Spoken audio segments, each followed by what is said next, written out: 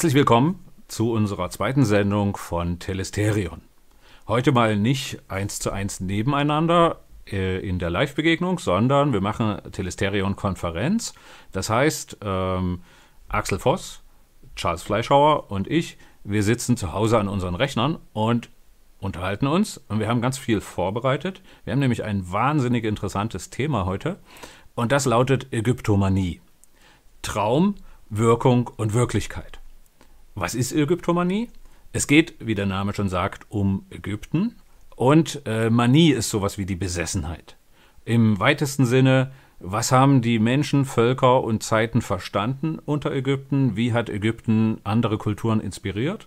Welche Wirkung hat es auf das Abendland? Wo finden wir Spuren von Ägypten? Und, und, und. Ihr merkt schon in der Einführung, ähm, das wird ein weites Feld und wir haben uns viel vorgenommen.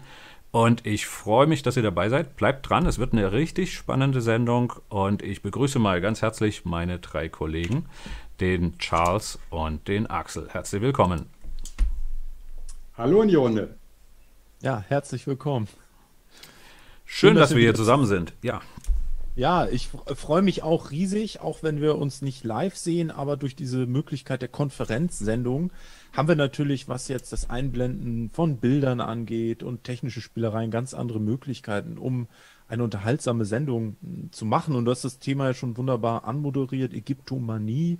Äh, mir kommt noch der Begriff Rezeptionsgeschichte so in den Kopf, mhm. dass es heute vor allem gar nicht in dem Sinne um die Geschichte Ägyptens geht, sondern es geht um die Geschichte dessen, wie Ägypten wahrgenommen wird oder wie ein Bild von Ägypten konstruiert wird und wie dieses Bild wiederum eine Rückwirkung praktisch auf die europäische Kultur hat und äh, wie wir dadurch, ähm, vor allem denke ich jetzt an die Zeit der Aufklärung, ähm, durch Ägyptenbilder geprägt sind. Aber äh, dazu dann gleich mehr, wenn wir richtig ins Thema einsteigen. Mhm.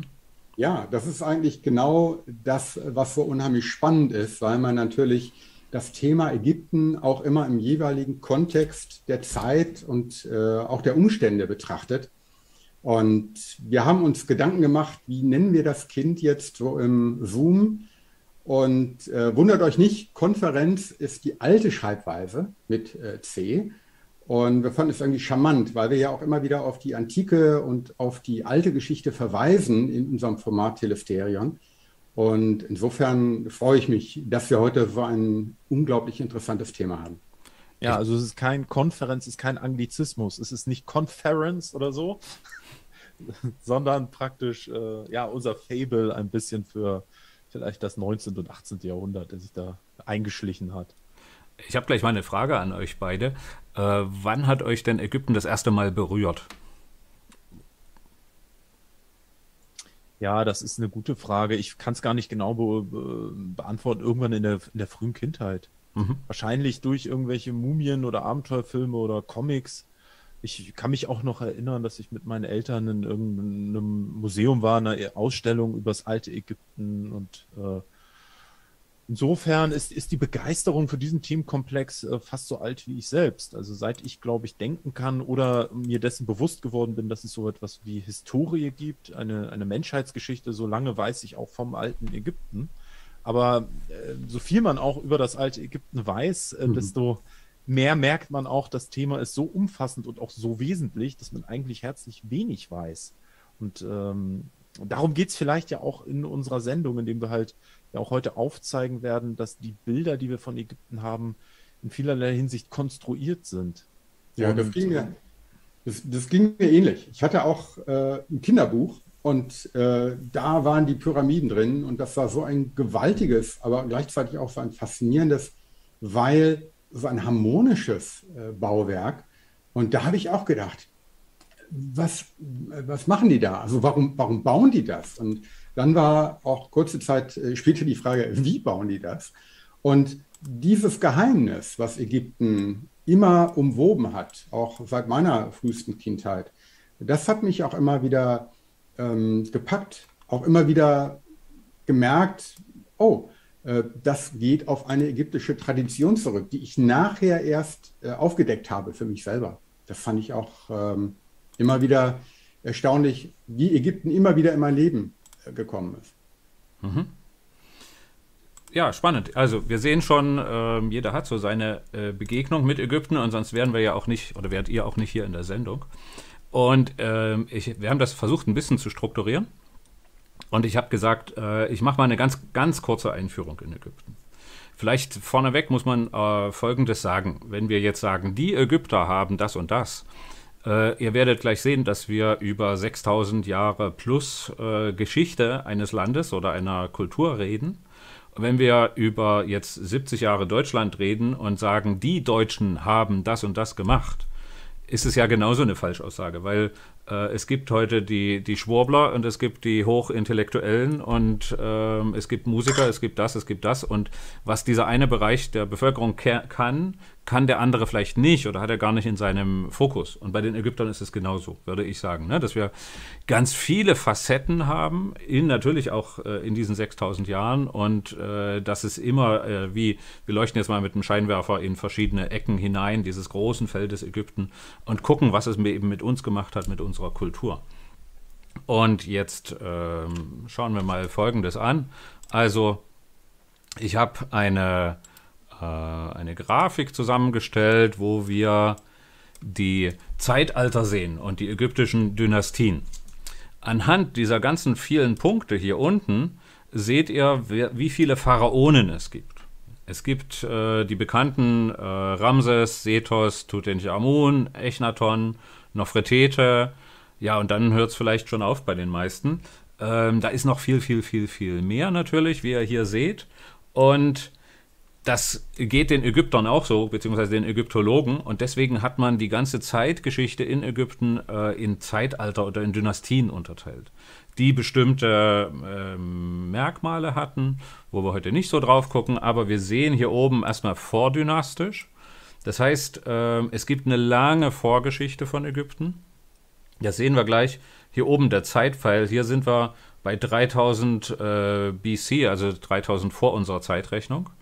Da sind wir also 5000 Jahre vor unserer Zeit, vor dem heutigen Datum, und dort beginnen die Frühdynastien. Da kommen die erste Dynastie und so weiter. Dann gibt es das Alte Reich, eine Zwischenzeit, das ist so eine turbulente Phase. Dann formt sich das Mittlere Reich, wieder eine Zwischenzeit, das äh, Neue Reich und dann kommt die dritte Zwischenzeit, die Spätzeit. Und da sind wir schon so Spätzeit am Ende des, äh, der großen ägyptischen Kultur und dann geht das über in die griechisch-römische Zeit. Und ähm, dann beginnt so langsam das, was wir als altes Griechenland kennen. Ähm, wenn die Frage auftaucht, ja, wo, wo ordnen wir die Pyramiden ein, dann liegen die im Alten Reich. Und äh, hier in einem Zeitfenster, was ungefähr 300 Jahre betrifft. Was man dazu sagen muss, äh, wir reden über offizielle Zeitlinien und offizielle Geschichtsschreibung, so wie es jetzt, sagen wir mal, akzeptiert wird. Da gibt es sicher ganz, ganz viele Fragen und ich bin da auch einer, der viele Fragen hat. Aber so zur Orientierung halten wir uns mal an die offizielle Zeitlinie. Und jetzt haben wir so einen kleinen Überblick für unsere Sendung gemacht. Also äh, wir haben, ähm, Entschuldigung, die Narma-Palette äh, markiert sowas wie eines der ersten Momente. Ich zeige euch gleich die Narma-Palette mal der ersten Momente des äh, ägyptischen Reiches. Und hier haben wir Cheops, das haben wir bei den Pyramiden schon gesehen. Ich habe ja vorhin gesagt, dass es viele Pharaonen gibt und im Neuen Reich, das ist so das, was uns vielleicht mit am meisten beeinflusst hat. Also Tutanchamun, ähm, Echnaton, Ramses liegen hier und, wo ich sagte, Spätzeit, Pythagoras, Herodot als Geschichtsschreiber, Platon, die viel für dieses Bild beigetragen haben. Und dann haben wir mal eine große Lücke.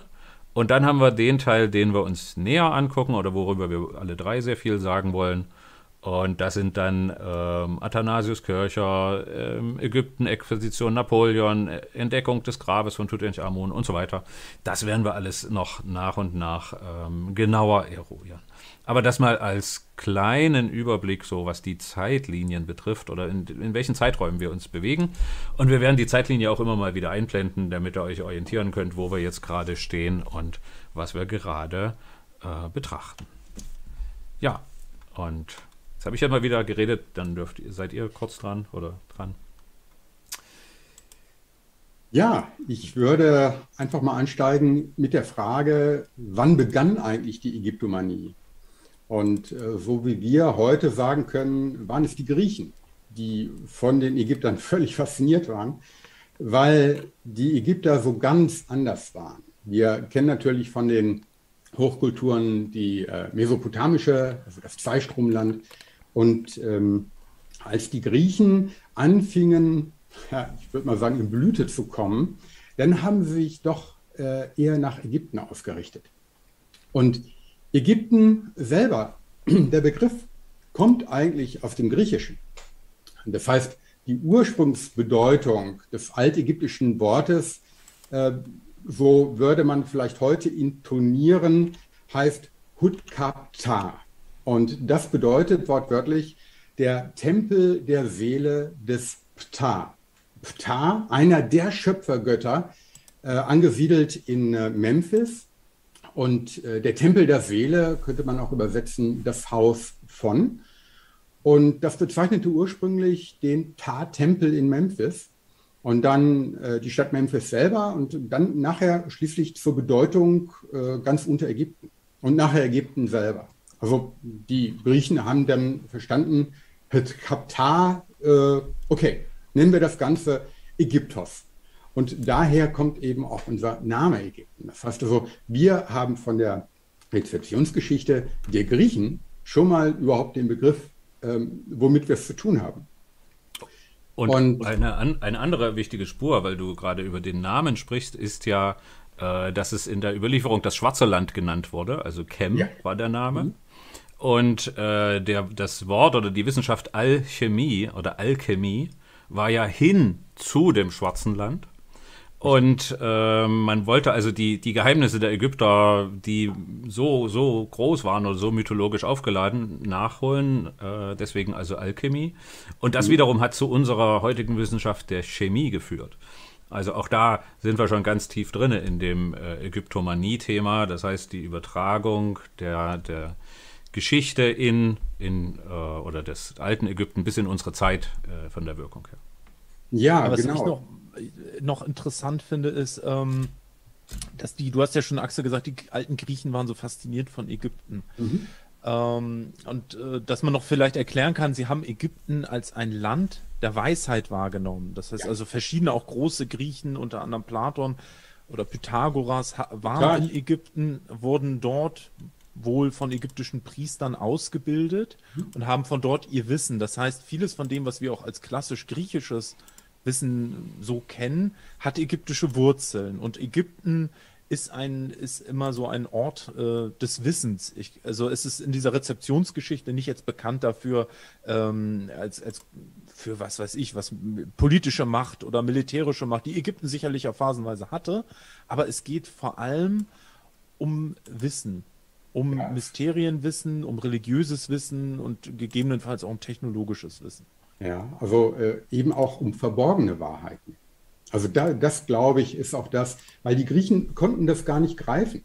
Und was Andreas gerade gesagt hat mit dem Schwarzen Land, mit dem Kemet, hat natürlich mit dem, ähm, ja, mit dem Totenland äh, seine Entsprechung. Also es war äh, ein Kalender, der sich natürlich nach, dem Nilfl nach der Nilflut richtete. Und das äh, Rote Land, das hieß zum Beispiel Deshret, also Kemet und Deshret. Und aus dem geht dann auch das englische Desert, also die Wüste hervor. Äh, das vielleicht nochmal so der grundsätzliche ähm, ähm, Aufbau, den die Griechen auch vorfanden. Und deshalb, äh, das ist ein großer Unterschied zur griechischen Kultur, äh, zur griechischen Landschaft, die ja äh, ganz unterschiedlich durch die ganzen Inseln und ähm, durch die, ähm, äh, zum Beispiel durch das arkadische Land, wo wir dann immer sagten, Arkadien war, ist so das Ideal äh, später gewesen, so im, ähm, im Barock und, und äh, in der Romantik. Aber Arkadien war eigentlich relativ karg. Und ähm, das haben die Griechen gesehen, äh, das war bei den Ägyptern wirklich ganz klar unterschieden. Es gab eben das fruchtbare und das tote Land. Und so wie auch die Stadtstaaten unter sich in Griechenland äh, unterschiedliche Schwerpunkte hatten, also Athen, Sparta, Theben etc., ähm, fing es aber bei den Ägyptern auch schon an, weil diese unglaubliche Zeitspanne äh, Strukturen schief, äh, schuf, wo es völlig verschiedene Schöpfungsmythen gab. Also das ist schon mal ganz bemerkenswert, wenn wir auf die Religionen uns ähm, einmal ähm, aufrichten, dass wir sagen, gut, es gab Memphis, das hatte ich gerade schon erklärt, Pa war da der Schöpfergott, der die Welt ausspricht. Das merkt man schon an der Aussprache Ptah. Das, ähm, das ist auch schon ein Ausatmen. Und äh, wir haben in ähm, äh, Hermopolis haben wir Tot, also der wiederum vier Götterpaare schuf. Und äh, Hermopolis, äh, das ist also das, wo die Sonne geschaffen wurde. Auch wieder eine komplett andere Geschichte. In Elefantin haben wir Chnum, das war der mit den, mit den Hörnern, dieser äh, Gott mit dem, mit dem Widderkopf, der töpfert den Menschen. Und äh, da haben wir schon Entsprechungen, die wir dann im Alten Testament wiederfinden. Der Mensch aus Ton wird von einer chtonischen, von einer Erdgottheit jetzt auf einmal geformt. Und äh, dann haben wir in Heliopolis schließlich noch Atum, der dem Urmeer entstieg. Und äh, dieser Urfels, auf dem er quasi zu stehen kam, das erste Land aus dem Ozean, das war der Urfels, also der nachher Benben genannt wurde, also der nachher die Spitze, diese goldene Spitze der Pyramide bildete. Und überhaupt die Pyramidenform als der Urberg, äh, das ist interessant. Und der schuf nachher die Enneaden, also da steckt das griechische Wort für neun drin. Das ist also eine neun, ähm, neun Gottheit, also neun Götter, die dann nachher ähm, ja, die Welt schaffen werden sowas, was man bei den Griechen den Pantheon nannte, also das, der, der, die Götterneunheit, die beschreibt, wie die Welt erschaffen worden ist. Ähm, das haben wir bei den Ägyptern sehr, sehr massiv. Ja. Und ähm, wir haben ja so über das, das unnennbar, also wir haben schon gesehen, die, die Griechen waren fasziniert von Ägypten. Und ich würde einfach mal äh, zwei, drei Bilder zeigen, damit man nochmal so rankommt an diese Faszination wenn du dir vorstellst, du kommst jetzt äh, nach Ägypten und findest diese Bauwerke davor. Ja, da, da, stehen wir heute noch davor und wissen nicht, wie man das gebaut hat, wie man, wie die äh, je gebaut werden konnten. Die ähm, hinten rechts, das, die sieht klein aus. Das ist aber die größte von allen Pyramiden. Die äh, mittler, also die Chef äh, Cheops-Pyramide oder Khufu genannt, ähm, die mittlere ist Chefren und äh, die ganz linke, das ist Mykerinos. Das sind so die drei großen Pyramiden. Ihr seht schon, da sind äh, drei kleine davor und ganz rechts am Bild seht ihr auch noch mal ein paar kleine. Es gibt über 100 Pyramiden in Ägypten. Und äh, das alleine fasziniert natürlich, wenn man das in Ägypten sieht. Und aber auch, wir haben ja vorhin kurz über die Zeitlinien gesprochen und ich habe gesagt, ich zeige euch die Nama-Palette und genau das tun wir jetzt mal. Ähm, das ist die, die Nama-Palette. Man muss dazu sagen, das ist eine Schieferpalette. Manchmal wird gesagt, eine Schminkpalette. Ähm, Schieferplatte, die ist, tja, hm, 50 mal 70 circa, jetzt grob geschätzt. Also man sieht sie manchmal im Museum ähm, groß und Schiefer, wenn ihr irgendeine Vorstellung davon habt, das ist sehr, äh, es ist ein ähm, schichtartiges Gestein. Das heißt, ich kann das in der Schichtebene recht gut bearbeiten, aber ansonsten bröselt es sehr stark. Und eine Schieferplatte so herzustellen oder zu bearbeiten, wie wir das hier sehen, das zeugt schon von einer sehr hohen Kunstfertigkeit und aber in unserer Zeitlinie, wo war sie? Ähm, da ist äh, die Nama-Palette hier, also vor 5200 Jahren ungefähr. Und damit beginnt die Zählung der ägyptischen äh, Hochkultur muss man eben dazu sagen, ne, das ist offizielle Ägyptologie. Es gibt auch alternative Zählungen oder ganz viele Fragen, andere Zeitlinien und, und, und, was man über Ägypten sagen kann.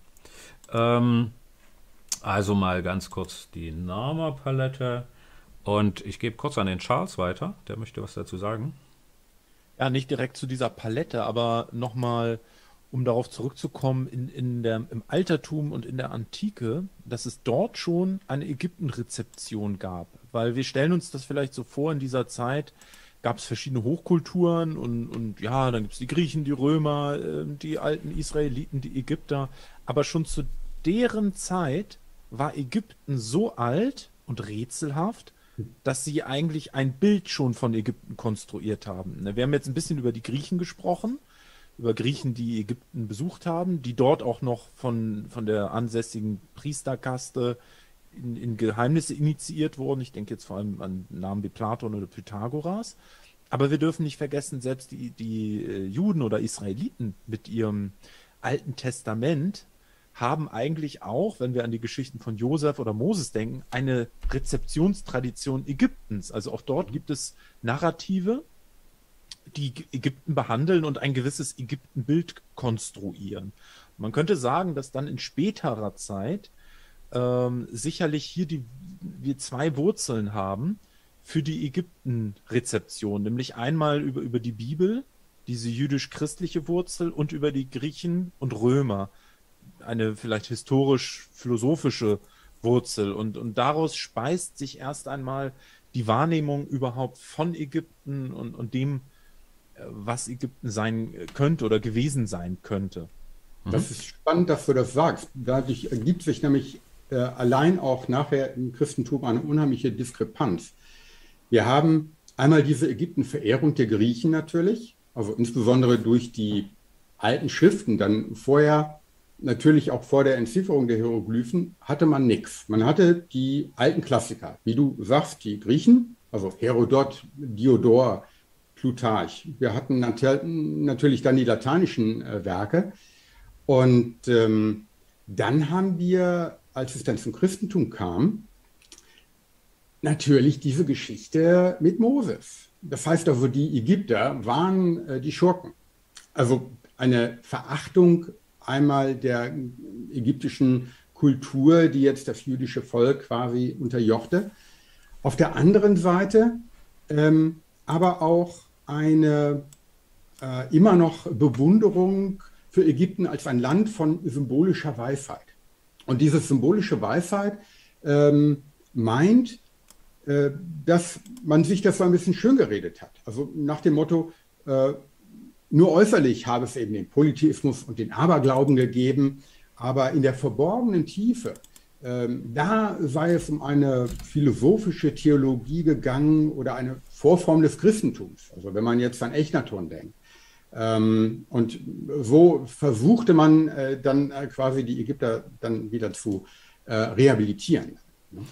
Weil, du, weil du gerade Moses erwähnt hast, ähm, ein, eine schöne Stelle für alle, die da mal nachgucken wollen, in der Apostelgeschichte 7, äh, 17 bis 24 oder der, der Vers 22. Und Mose wurde unterwiesen in aller Weisheit der Ägypter. Er war aber mächtig in seinen Worten und Werken. Da sehen wir schon einen, einen ganz wunderbaren Hinweis. Also eine der Wurzeln äh, des, des Christentums liegt eben auch in äh, dem Lande Chem. Vor allem ist interessant, wenn wir auf Deutschland gucken oder auf die europäische Kultur, das, was man dann später Abendland nennt, dann hat das verschiedene Wurzeln. Zum einen natürlich, ja, ich sag mal, kelto-germanisch-slawische Wurzeln, also sozusagen die Urkultur nördlich der Alpen aber dann über das Christentum, christlich-jüdische und eben über die Römer diese römisch-griechische Wurzel. Und sowohl die christlich-jüdische Tradition, die auf die abendländische Kultur eingewirkt hat, als auch die römisch-griechische leben beide ganz stark von einer Rezeption Ägyptens, von einem Bezugnehmen auf Ägyptens. Also lässt sich da in der Traditionslinie, zumindest dieser beiden Säulen ja, der, des Abendlandes, immer wieder ähm, letztlich der Faden bis zu Ägypten zurückverfolgen.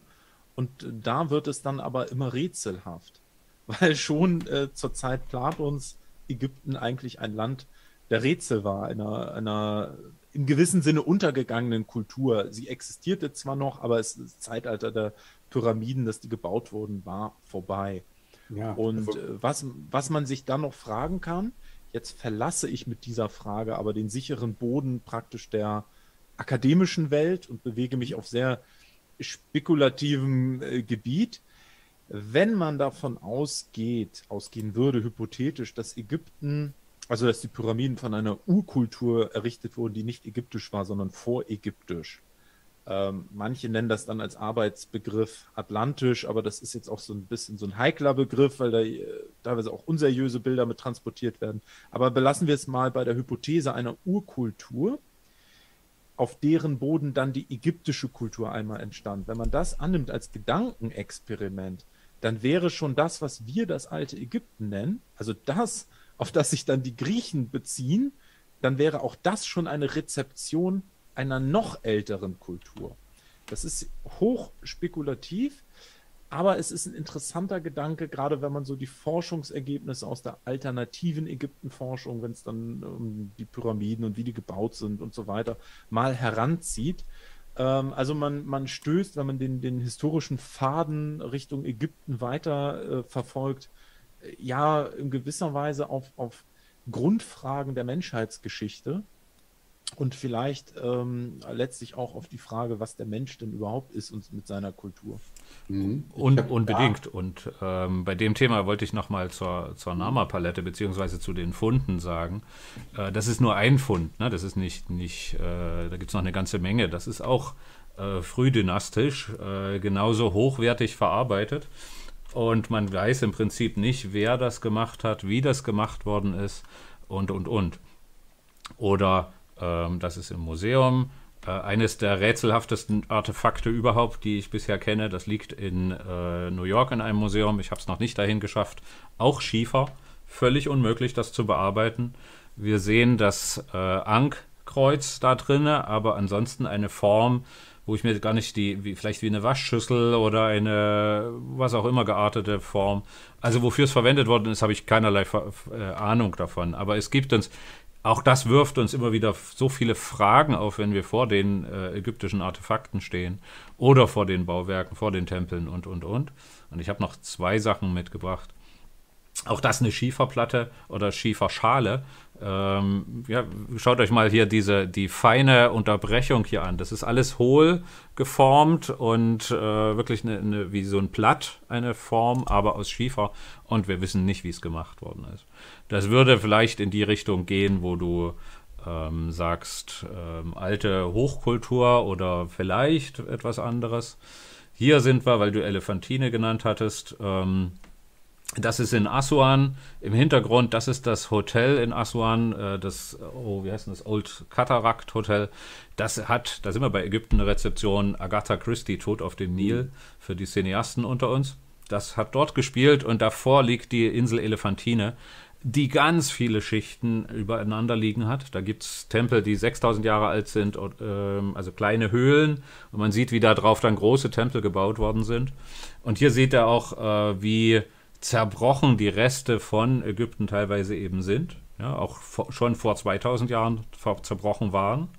Und äh, hinweisen möchte ich mal auf äh, einmal hier drüben, sieht man vielleicht nicht ganz so gut, aber ihr seht es gleich besser. Da liegt ein heiliger Schrein aus einem äh, Tempel und den gucken wir uns mal groß an. Hier liegt ein zerbrochener Schrein und weil es so schön ist, gucken wir uns den mal live an. Das ist ähm, eines der Rätsel in Ägypten ein Guide hat mal zu mir gesagt, als ich dort stand, äh, ich biete eine Million Dollar, wenn du mir sagst, wie das hergestellt worden ist. Äh, man muss dazu sagen, das ist Granit.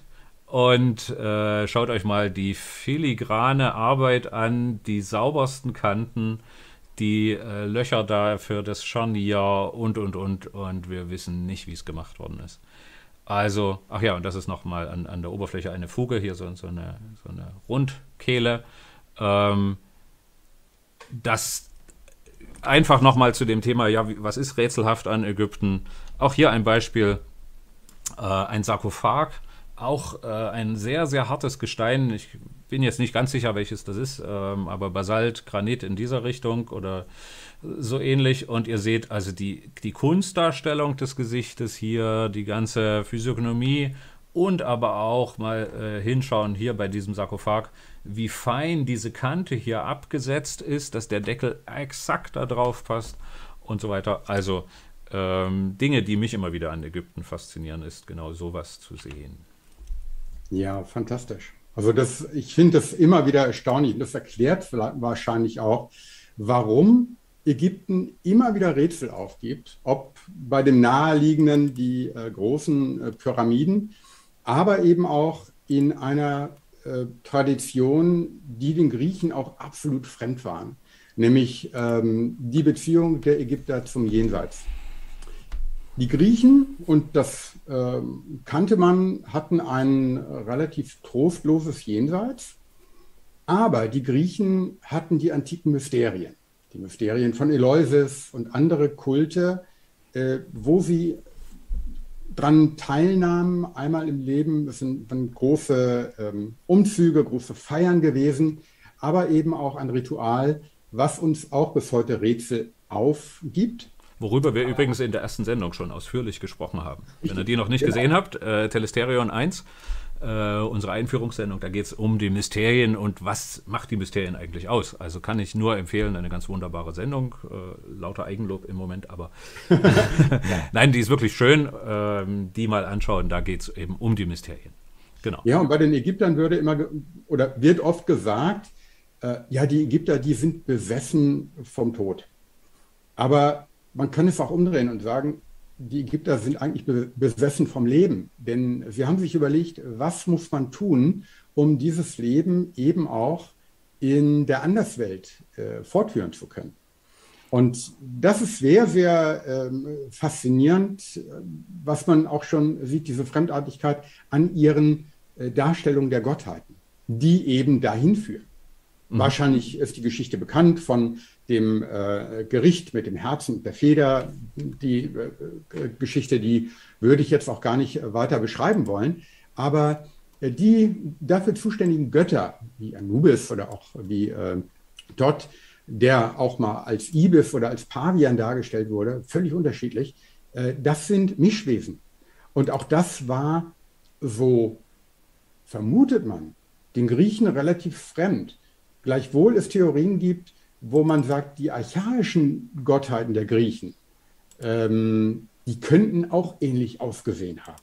Wenn wir an Athene denken, die ja die Eule hatte äh, als Attribut, äh, vielleicht war das auch früh ein Mischwesen, dass die Eulenfüße hatte oder äh, irgendwie ganz anders äh, dargestellt wurde. Aber äh, das ist spekulativ. Man kann das nicht beweisen. Ich habe mir erlaubt, gleich mal ein Bild reinzubringen, äh, in dem Fall also Todd den Gott der Schrift und der Weisheit und der Wissenschaft und äh, der Handelsreisenden. Äh, hier sehen wir ihn also mit einem Ibiskopf, ne? ein, ein menschlicher Körper und ein Ibiskopf. Und links daneben seht ihr, äh, Horus müsste das sein, also auch ein, ein Mensch, aber ein äh, Falkenkopf. Zwei Beispiele nur von dem, was in Ägypten äh, zu sehen ist an Göttern. Und wenn du in den Tempeln bist oder vor den Tempeln stehst, äh, kriegt man auch da natürlich große Rätselfragen. Äh, was wollten sie damit sagen oder wie anders sind sie eben, ja, wie du sagst, ne, im Vergleich zu den Griechen? Ich würde gern einen kleinen ähm, Exkurs machen in, in, die römische Zeit. Ähm, die römische Kultur als, ähm, nimmt ja in vielerlei Hinsicht auf die griechische Bildungswelt ähm, Bezug und ähm, es hat sich dann ja in der, in der Spätantike, wobei auch schon etwas eher durch den Hellenismus haben sich diese Mischreligionen gebildet, diese Mysterienkulte. Wie gesagt, wir haben schon ausführlich darüber gesprochen, schaut die erste Sendung. Aber ein Mysterienkult, der jetzt relevant ist, ist eben der rund um Isis und Osiris. Und dieser Isis- und Osiris-Kult, der verbreitet sich auch im römischen Imperium, der ist auch in, in Italien präsent. Und ähm, der ist insofern interessant, weil das ist wahrscheinlich nicht mehr in dem Sinne die ägyptisch, eigentliche ägyptische Religion, sondern es ist eine schon durch äh, eine Mischung mit griechisch-römischer Kultur entstandene neue Religionsform, die aber noch ganz viel äh, Altägyptisches enthält und jetzt im, im römischen Imperium präsent ist. Ähm, und auch für die Römer damals diesen Ansch diese Aura hatte, oh, in den Isis- und Osiris-Mysterien, da erfährt man das Geheimnis des alten Ägyptens. Also das war schon ein Kult, der in, insofern religiöse Rezeption darstellt. Und es gibt einen Autor, und zwar Apuleius, der hat ein interessantes Buch, ca. 170 nach Christi verfasst, die Metamorphosen. Und das ist eine ähm, philosophisch-religiöse Schrift, eigentlich ein, ein, eine Einweihungsschrift.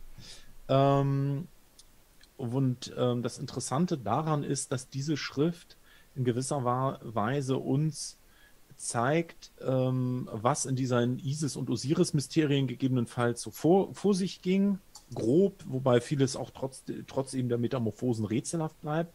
Aber es zeigt uns vor allem auch, wie zur römischen Zeit ähm, diese Schrift, die auch im, im, Westen dann teilweise unter dem Namen der Goldene Esel äh, bekannt geworden ist, ähm, wie Ägypten und die ägyptischen Mysterien wahrgenommen wurden. Oder eben halt, dass man überhaupt in der Antike der Meinung war, in der ägyptischen Religion gibt es Mysterien zu entdecken. Und es gibt in Verbindung mit der ägyptischen ähm, Religion äh, praktisch eine Einweihungstradition. Das ist eben vielleicht das Wesentliche, also dass Ägypten auch schon in römischer Zeit äh, als das Land äh, wahrgenommen wurde, in, wo die Religion so beschaffen ist, dass man in sie eingeweiht werden muss und dass das Wissen unglaublich umfangreich und relevant ist, aber halt eben auch äh, nicht jedem offenbart wird, sondern dass es sich um ein, eine Art Geheimwissen handelt, wenn wir um das ägyptische Wissen sprechen.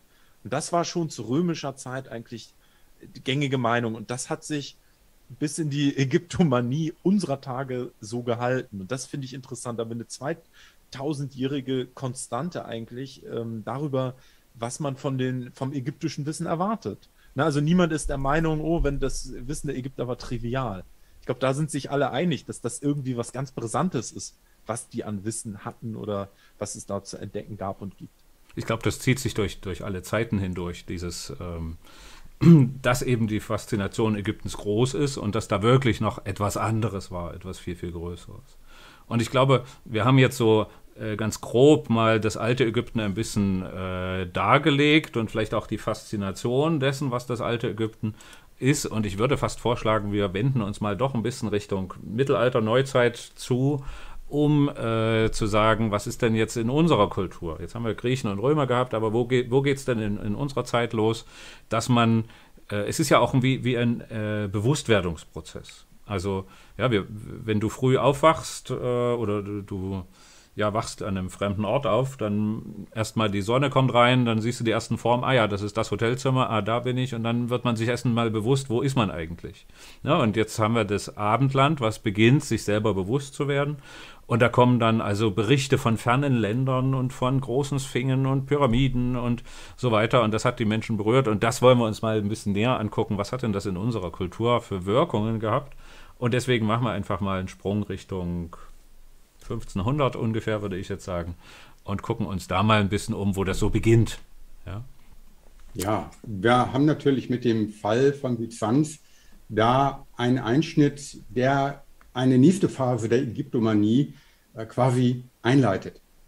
Äh, wir hatten. Nun, sagst, sagst, du mal eine Zeit dazu, damit wir das äh, ein bisschen. 1454 oder 53 ist Konstantinopel. Genau, 53 ja. fiel Byzanz und äh, damit natürlich auch äh, kamen viele griechische Gelehrte, die unter anderem auch alte Texte, äh, unter anderem von Platon, äh, mitbrachten nach Italien, insbesondere nach Florenz. Mhm. Denn die Familie der Medici die sammelte nun Gelehrte und Wissenschaftler an ähm, quasi ihrem Hof, so kann man sagen, äh, und äh, protegierte nun einen Kreis, der später äh, genannt werden wird, die Platonische Akademie.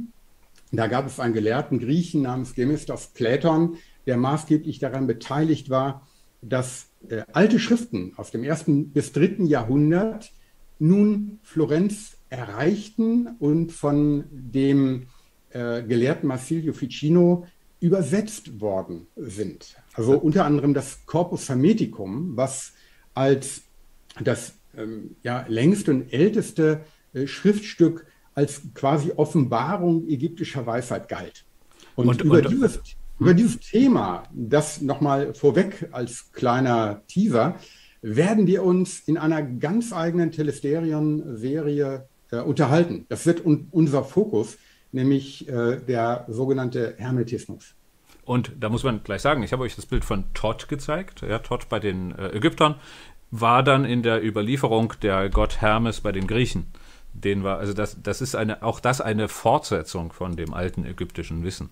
Ja, bis hin zu dem, auch wenn wir in die heutige Zeit gehen, der Götterbote Hermes, äh, der Hermes-Versand, den wir haben und, und, und. Also auch da ägyptische Spuren. Und nochmal, ich habe hier die Zeitlinie eingeblendet. Das heißt, wir sind jetzt ein bisschen noch äh, an, am linken Rand. 1400, 1500 hattest du gesagt und nähern uns jetzt so langsam äh, der heutigen Zeit.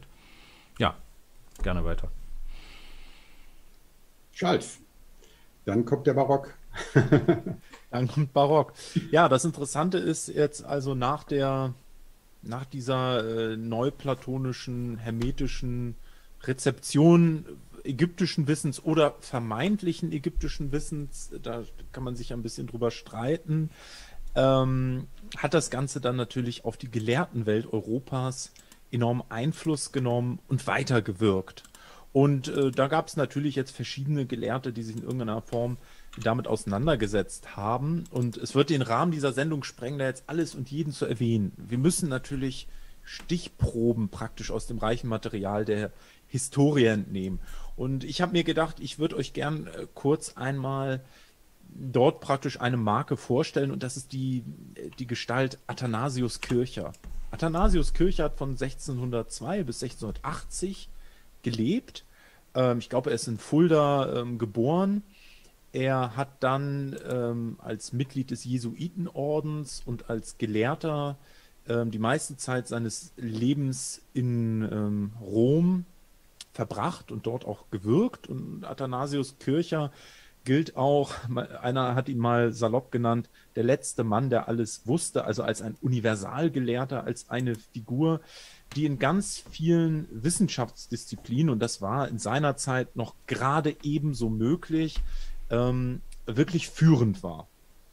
Er hat äh, unter anderem auch beispielsweise im Bereich der Pest geforscht und hatte ähm, die Theorie, dass die Pest durch kleine Lebewesen übertragen werden würde. Das hatte leider zu seiner Zeit keine große äh, Wirkung, aber da sieht man schon, was für ein wacher Geist Athanasius Kircher war, ähm, der schon Dinge erforscht hat, die seiner Zeit voraus waren. Und ich glaube, auch im, im Bereich der Akustik und Musiktheorie war er führend.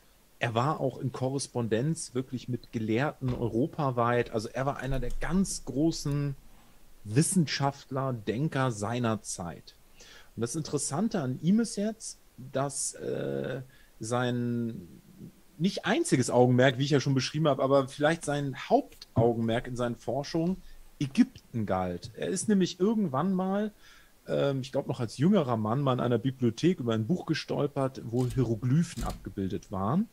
Und da wurde ihm überhaupt erst bewusst, dass es diese Hieroglyphen gab. Und er war davon begeistert und gefesselt und vielleicht sogar besessen, die Hieroglyphen zu entziffern. Und das ist eins seiner ganz großen Forschungsprojekte gewesen, die Hieroglyphenschrift zu entziffern. Und er glaubte, dass ihm das gelungen ist. Und das ist jetzt, wie gesagt, circa 200 Jahre bevor dann tatsächlich die Hieroglyphenschrift entziffert wurde. Ähm, und in der äh, Ägyptologie oder in der, Schulwissenschaft gilt Athanasius Kircher mit seinem Versuch, die Hieroglyphen zu entziffern, als gescheitert. Ich wäre da ein wenig vorsichtig, weil ich seine Ansätze interessant finde, auch wenn er bestimmt in ganz vielen Punkten sich geirrt hat, glaube ich nicht, dass er sich in allen geirrt hat. Er war nämlich davon überzeugt, dass die Hieroglyphen ähm, praktisch eine magische Bedeutung haben. Also dass es nicht einfach nur ein phonetisches System ist. Ähm, und äh, dass sie einen allegorischen Sinn haben. Also dass sich wirklich tiefe Menschheitsweisheit in diesen Schriftzeichen befindet. So wie man auch heute ja davon ausgeht, dass die nordischen Runen beispielsweise auch magisch, äh, eine magische Bedeutung haben. Ähm, Athanasius Kirche hat auch äh, sich mit China befasst. Er hatte die Theorie, dass die chinesischen Schriftzeichen auf Grundlage der ägyptischen Hieroglyphen entstanden sein könnten. Also er hatte wilde Theorien. Und ein Kerngedanke, ähm, ein Kerngedanke von ihm ist der, auch eben in Bezugnahme auf diese frühen antiken Ägypten-Rezeption, dass es in Ägypten eine Art Doppelreligion gab. Das heißt, nach außen hin ein Polytheismus fürs Volk und nach innen hin für die Eingeweihten, für die Priesterkaste eigentlich eine monotheistische Lehre. Und äh, auf diese Idee ist er gekommen, indem er, er hat eigentlich alle ihm zu, zu seiner Zeit Verfügung stehenden ähm, Quellen zu Ägypten verglichen und hat das in Bezug gesetzt zur Kabbala, zur Bibel, zum, zur Astrologie, Astronomie, zu allen Wissensbeständen, die es so gab und hat versucht, irgendwie so das ägyptische Wissen zu rekonstruieren, das, was Kern der Mysterien war und ist der Meinung gewesen, dass es eine Art radikaler Urmonotheismus äh, gewesen sein könnte. Aber vielleicht kann Axel ja auch noch was ergänzen. Du bist da ja auch ja. ziemlich fit in dem Thema. Was mir natürlich auch einfällt, äh, wo du gerade von der Re Religio Duplex sprachst, ähm, man muss sich auch klar machen, dass die Hieroglyphen ähm, von ihrer Wortbedeutung natürlich auch wiederum aus dem Griechischen, Hieros heißt heilig und Glyphein heißt eigentlich einritzen, nur für die Priester da waren. Es gab also dann auf der anderen, auf der Seite des Volkes, auch wortwörtlich griechisch, das Demotische. Demos, das kennen wir von Demokratie, ist das Volk. Das heißt also, das war die Schrift, das war die Sprache des Volkes. Ähm, das äh, ist auch vielleicht nochmal interessant äh, als Unterscheidung hervorzuheben. Mhm.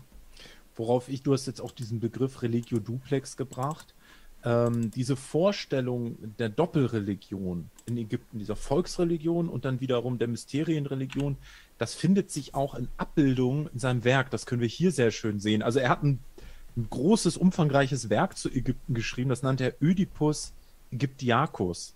Und es ist ja so in der griechischen äh, Geschichte rund um Ödipus, dass Ödipus derjenige, der das Rätsel der Sphinx löst. Und, und Athanasius Kirche hat sich jetzt hier praktisch im Titel ein bisschen einen Spaß erlaubt und vergleicht sich selbst mit dem Ödipus, da er ja auch das Rätsel der Hieroglyphen zu lösen geglaubt hat. Und auf dieser Abbildung die übrigens sehr interessant ist, weil äh, man, man hat auch ein bisschen erforscht, wie er denn zu seinen Bildern gelangt ist.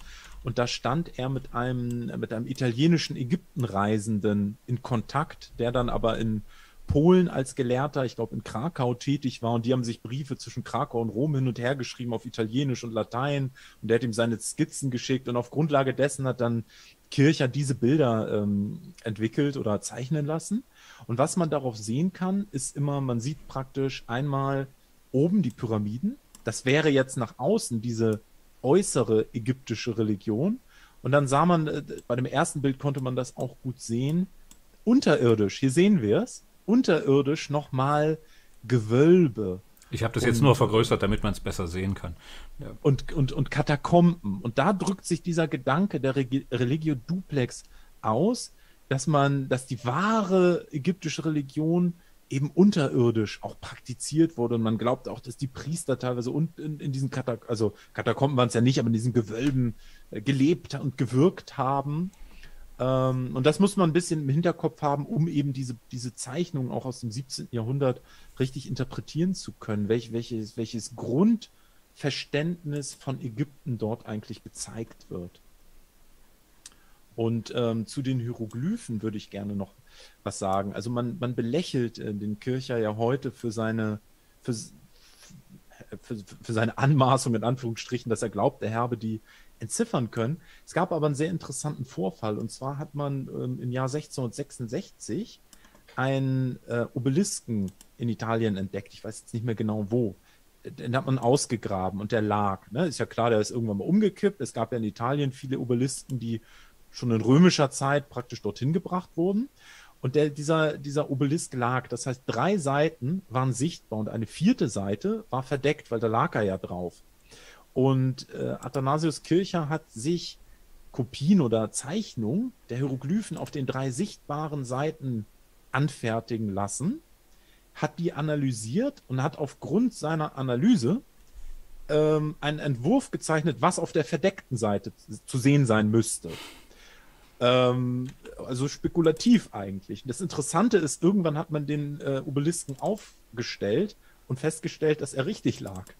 Man weiß halt nur nicht mehr wie, und obwohl er scheinbar nicht den, den Stein von Rosette hatte und die, die Hieroglyphen in dem Sinne, wie wir es glauben, wirklich lesen konnte, hatte er doch wahrscheinlich irgendwie einen Schlüssel und Verständnis zu den Hieroglyphen, was ihm ermöglicht hat, diese eine äh, Obeliskenseite richtig zu rekonstruieren. Das ist ein, eines der großen Rätsel um diesen Mann.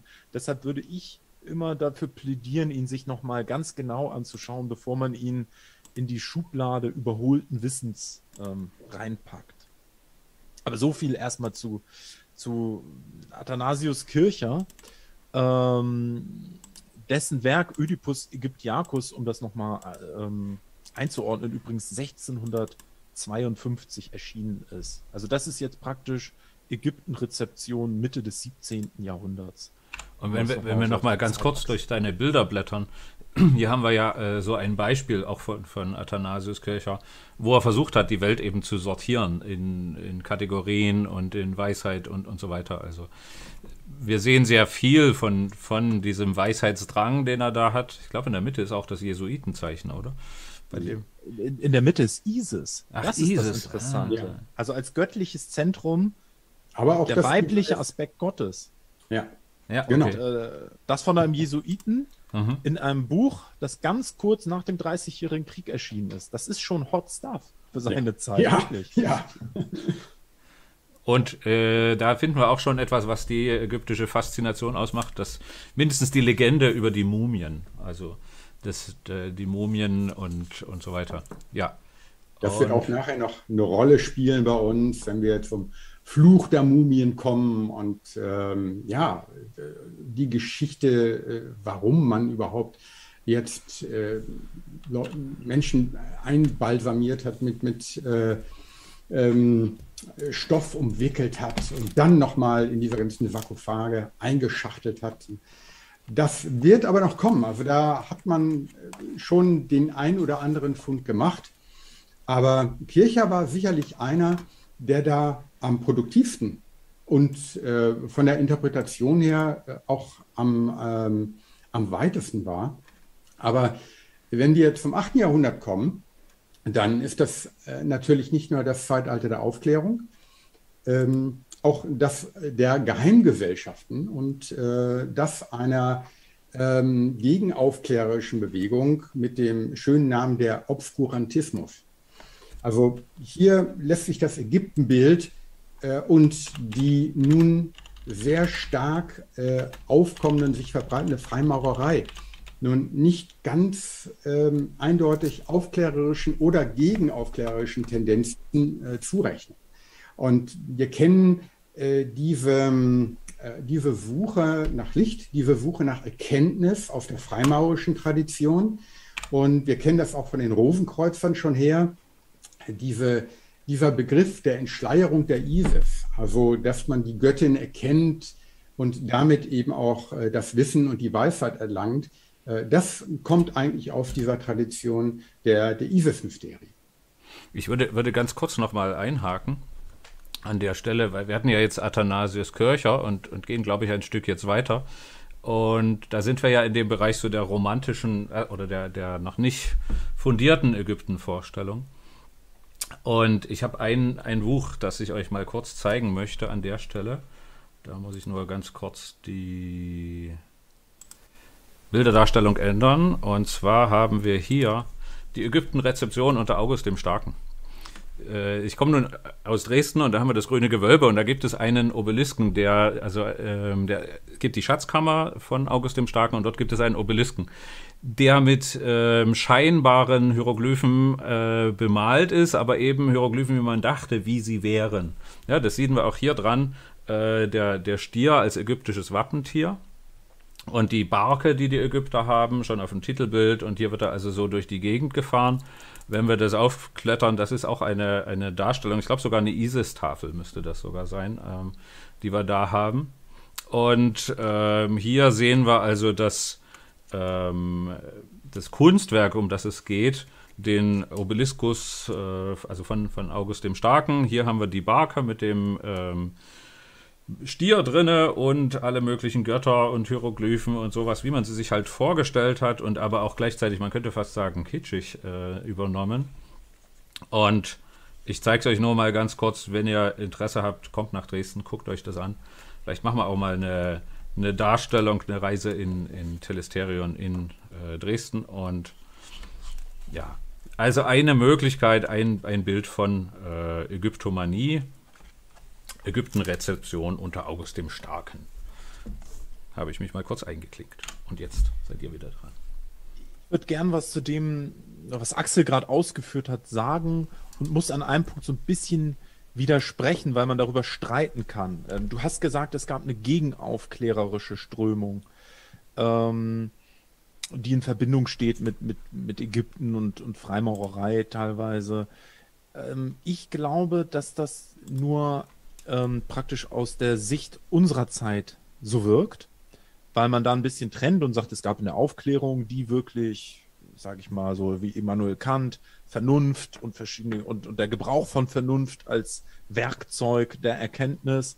Ähm, und dann gab es da noch so mystische Strömungen. Interessant ist aber, dass im 18. Jahrhundert auch äh, die Ansicht verbreitet war, dass ja die alten Ägypter, also jetzt sind wir wieder bei der Ägyptenrezeption, ein ganz hohes Wissen hatten, also eine ganz hohe Vernunft. Man hat sich das auch teilweise als ein technologisches Wissen vorgestellt und ein mystisches gemischt. Ne, wo, wo wir jetzt auch ein bisschen so wie, wie in der Alchemie, die ja sowohl Naturphilosophie ist als auch tatsächliche Technologie. Und so hat man sich auch das ägyptische Wissen vorgestellt und glaubte letztlich, dass man auch Erleuchtung oder um es besser zu sagen, Aufklärung, Enlightenment, durch Initiation in die ägyptischen Mysterien erfahren kann. Das heißt, das war aus Sicht dieser Menschen im 18. Jahrhundert oder, oder dieser gebildeten Kreise nicht unbedingt so ein Widerspruch, wie wir das jetzt so verorten würden.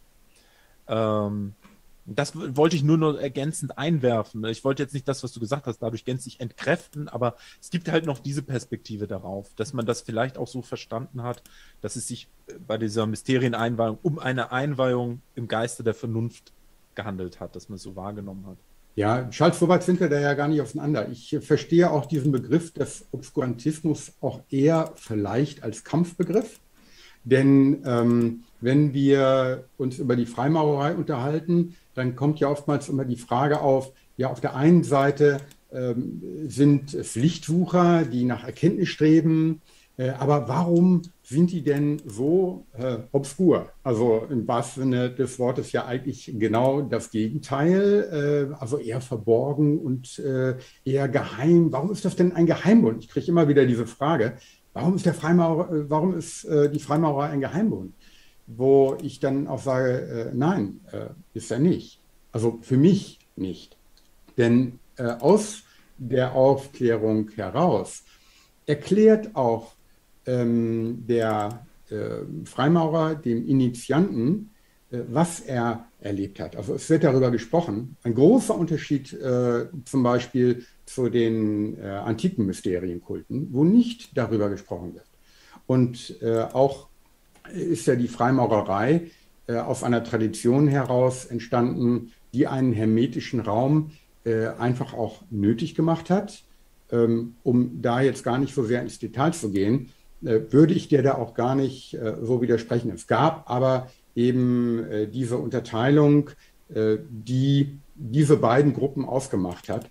Und da kommen wir in ein Ägyptenbild, wo wir ähm, jetzt auf einmal diese Lichtsuche, diese Erkenntnissuche, also auch wiederum eine neue Phase der Ägyptomanie sehr, sehr stark ausmachen können. Und in, dieser, in diesem Kontext, eben jetzt im 18. Jahrhundert, dieser Sinn- und Erkenntnissuche, da sind ein paar interessante Schriften entstanden, die dann ähm, für diese Ägyptenrezeption eine hohe Bedeutung gewonnen haben. Und zwar zum einen ähm, äh, ist 1727 von äh, Andrew Michael Ramsay eine Erzählung entstanden, The Travels of Cyrus. Das ist insofern interessant, also die, die Reisen des Cyrus. Da geht es ähm, jetzt das erste Mal literarisch darum, dass jemand in die ähm, ägyptischen Mysterien eingeweiht wird. Und diese Einweihung wird halt geschildert, wie die stattfindet. Und das Interessante ist eben an, an Michael, Andrew Michael Ramsay, das ist ein berühmter Freimaurer. Und zwar ein sehr berühmter, der ist nämlich berühmt geworden für eine Rede, die er gehalten hat, ähm, de, für Freimaurer, in der er die Freimaurerei auf die Ritterorden der Kreuzzüge zurückführt. Und, und das ist so ein großer Link, wenn es darum geht, Freimaurerei, Verbindung zu den Tempelrittern. und das, das geht halt auf diesen Ramsey zurück. Mhm. Aber gleichzeitig schreibt er auch eine Geschichte über das alte Ägypten, über eine, eine, eine fiktive Einweihung, würden wir sagen. Und alles, was dann später in der Freimaurerei entsteht als ägyptische Freimaurerei, geht dadurch auch auf ihn zurück. Ich will nicht sagen, dass er das alles erfunden hat, aber er ist so ein bisschen sowas wie der Knotenpunkt, wo diese Traditionslinien in der Entwicklung der Freimaurerei so durchlaufen. Ähm, und äh, seine Schrift, die hat dann dazu geführt, die ist ja ähm, 1727 erschienen, dass, äh, also es hat andere inspiriert und dann gab es eine von Jean Terrasson, einem Franzosen, der hat von 1670 bis 1750 gelebt. Der hat dann äh, vier Jahre später, nachdem Ramsay seine, seine Travels of Cyrus veröffentlicht hat, also im Jahr 1731, äh, eine Schrift äh, verfasst, die nennt sich Geschichte des ägyptischen Königs Sethos. Und das ist dann äh, berühmt geworden als der sogenannte Sethos-Roman, wurde dann auch einige Jahrzehnte später ins Deutsche übersetzt. Und diese Erzählung, die eigentlich, ähm, ich will nicht sagen Abklatsch ist von der von dem Ramsay, aber stark davon beeinflusst, ähm, die hat dann in Freimaurerkreisen ganz große Wellen geschlagen, weil man das, was da geschildert ist, in vielerlei Hinsicht ähm, für bare Münze genommen hat. Also für ein praktisch wie ein wissenschaftlicher Bericht darüber, wie ägyptische Mysterien verliefen. Und daran, dadurch, und das hat bis in die in Mozart Zauberflöte ganz stark reingewirkt. Also das ist eine wichtige, ganz wichtige Schrift, auch wenn die jetzt vielleicht ähm, aus wissenschaftlicher Sicht von heute wenig Erkenntnisse darüber liefert, was in ägyptischen Mysterien ablief. Sie zeigt aber ganz viel darüber auf, was man im 18. Jahrhundert unter ägyptischen Mysterien verstanden hat. Und da tauchen dann verschiedene Elemente auf, die dann auch in freimaurerischen Initiationen wieder eine Rolle spielen. Die Reisen des Kandidaten, dass man durch Elemente reist, eine Feuer-, Wasser- und Luftprobe bestehen muss, eine Konfrontation mit dem Tod und so weiter und so fort. Ähm, und insofern ähm, ist das wichtig. Und dann gab es später, also das hat dann wieder auch andere literarisch inspiriert, da gab es dann eine Schrift, gute 40 Jahre später, so um das Jahr 1770 erschien, die nannte sich Krater Repor oder Einweihung in der alten geheimen Gesellschaft der ägyptischen Priester. Und da haben wir auch ein, ein, Bild zu, vielleicht können wir das ähm, einblenden zu der Krater Repor. Das war eine Schrift, die eigentlich nur dann. Ach, hier, hier haben wir noch Sethos, Sethos, Das genau. ist dieser Sethos, genau, also dieser Meilenstein, wenn man so will, weil dieses Buch die größte Wirkung äh, flächendeckend hatte. Und, und hier haben wir Krater Repoa. Ja. Und diese Schrift, die war jetzt eigentlich von Freimaurern für Freimaurer und die, die entstand im Kontext einer speziellen Loge, eines eigenen Hochgradsystems, das sich die afrikanischen Bauherren nannte. Hm. Und das war eine, eine freimaurerische Tradition, man weiß, wie bei vielen freimaurischen Hochgradsystemen, nicht exakt, wann, wann das gegründet wurde, aber man weiß, ab 1763 lässt sich das nachweisen. Und dieses freimaurische System ähm, war praktisch der Meinung, ähm, es würde die, diese ägyptische Priestertradition fortführen. Also wer da Mitglied war, glaubte, in dieser Tradition zu stehen. Und man hat sich eben auf die äh, Initiationen und, und, und äh, Fakten, vermeintliche Fakten, die in dieser Schrift Carter Report beschrieben sind, bezogen. Man hat das behandelt wie ein Tatsachenbericht. Das heißt, es entstehen im 18. Jahrhundert im Kontext und Dunstkreis der Freimaurerei verschiedene Schriften über ägyptische Mysterien und Einweihungen, die dann teilweise ganz stark wieder auch auf freimaurische Organisation Einfluss nehmen. Das ist so eine Wechselwirkung. Und einerseits, wenn man diese Schriften dann liest oder Auszüge davon, dann erkennt man schon, dass dort tatsächlich ein esoterisches Wissen enthalten ist, dass, ähm, dass dort äh, andere Traditionen sicherlich auch aus, aus der Mysterienweisheit oder Kabbalistik mit eingeflossen sind. Und man erkennt aber auch, dass das jetzt irgendwie was künstlich Geschaffenes ist, dass da auch ein bisschen gesponnen ist und, und etwas erfunden und, und verspielt. Aber wie gesagt, Axel, du hast zu dem Thema auch einiges zu sagen. Was würdest du da noch so ergänzen?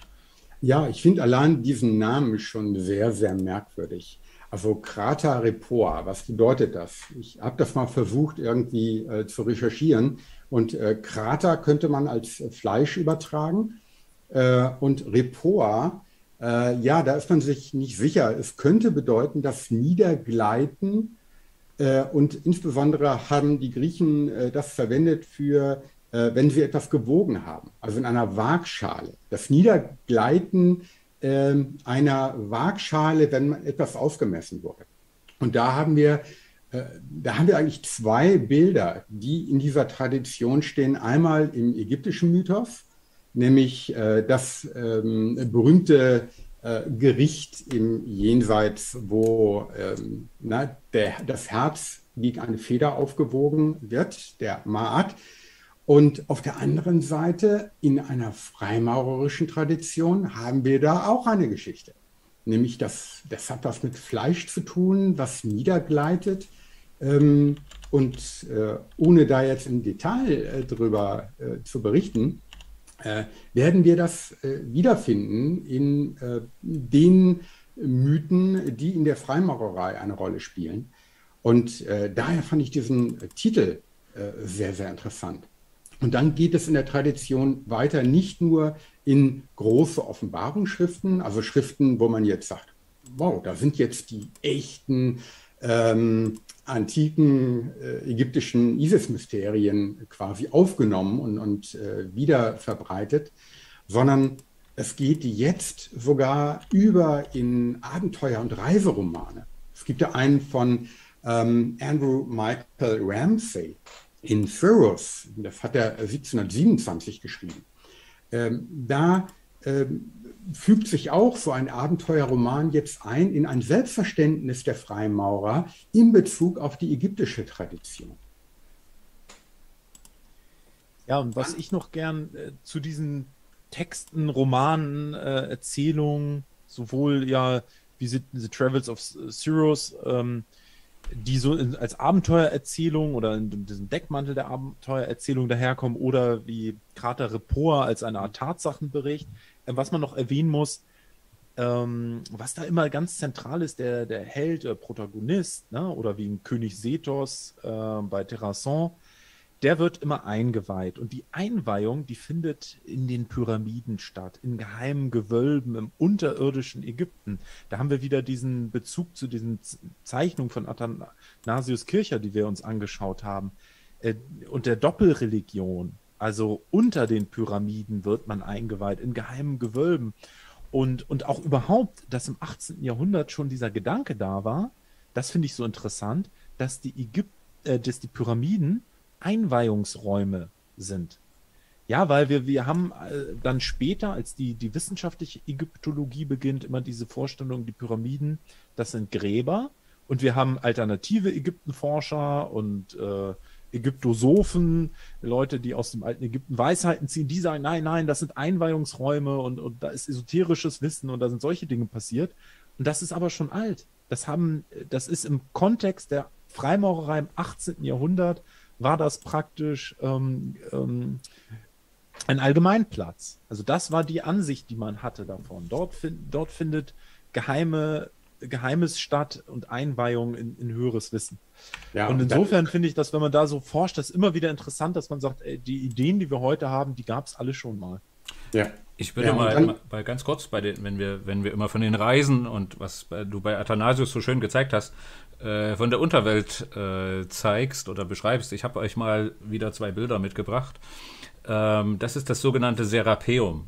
Also Serapis ist der Stier, den wir vorhin auch schon mal bei, kurz bei äh, August dem Starken gesehen haben.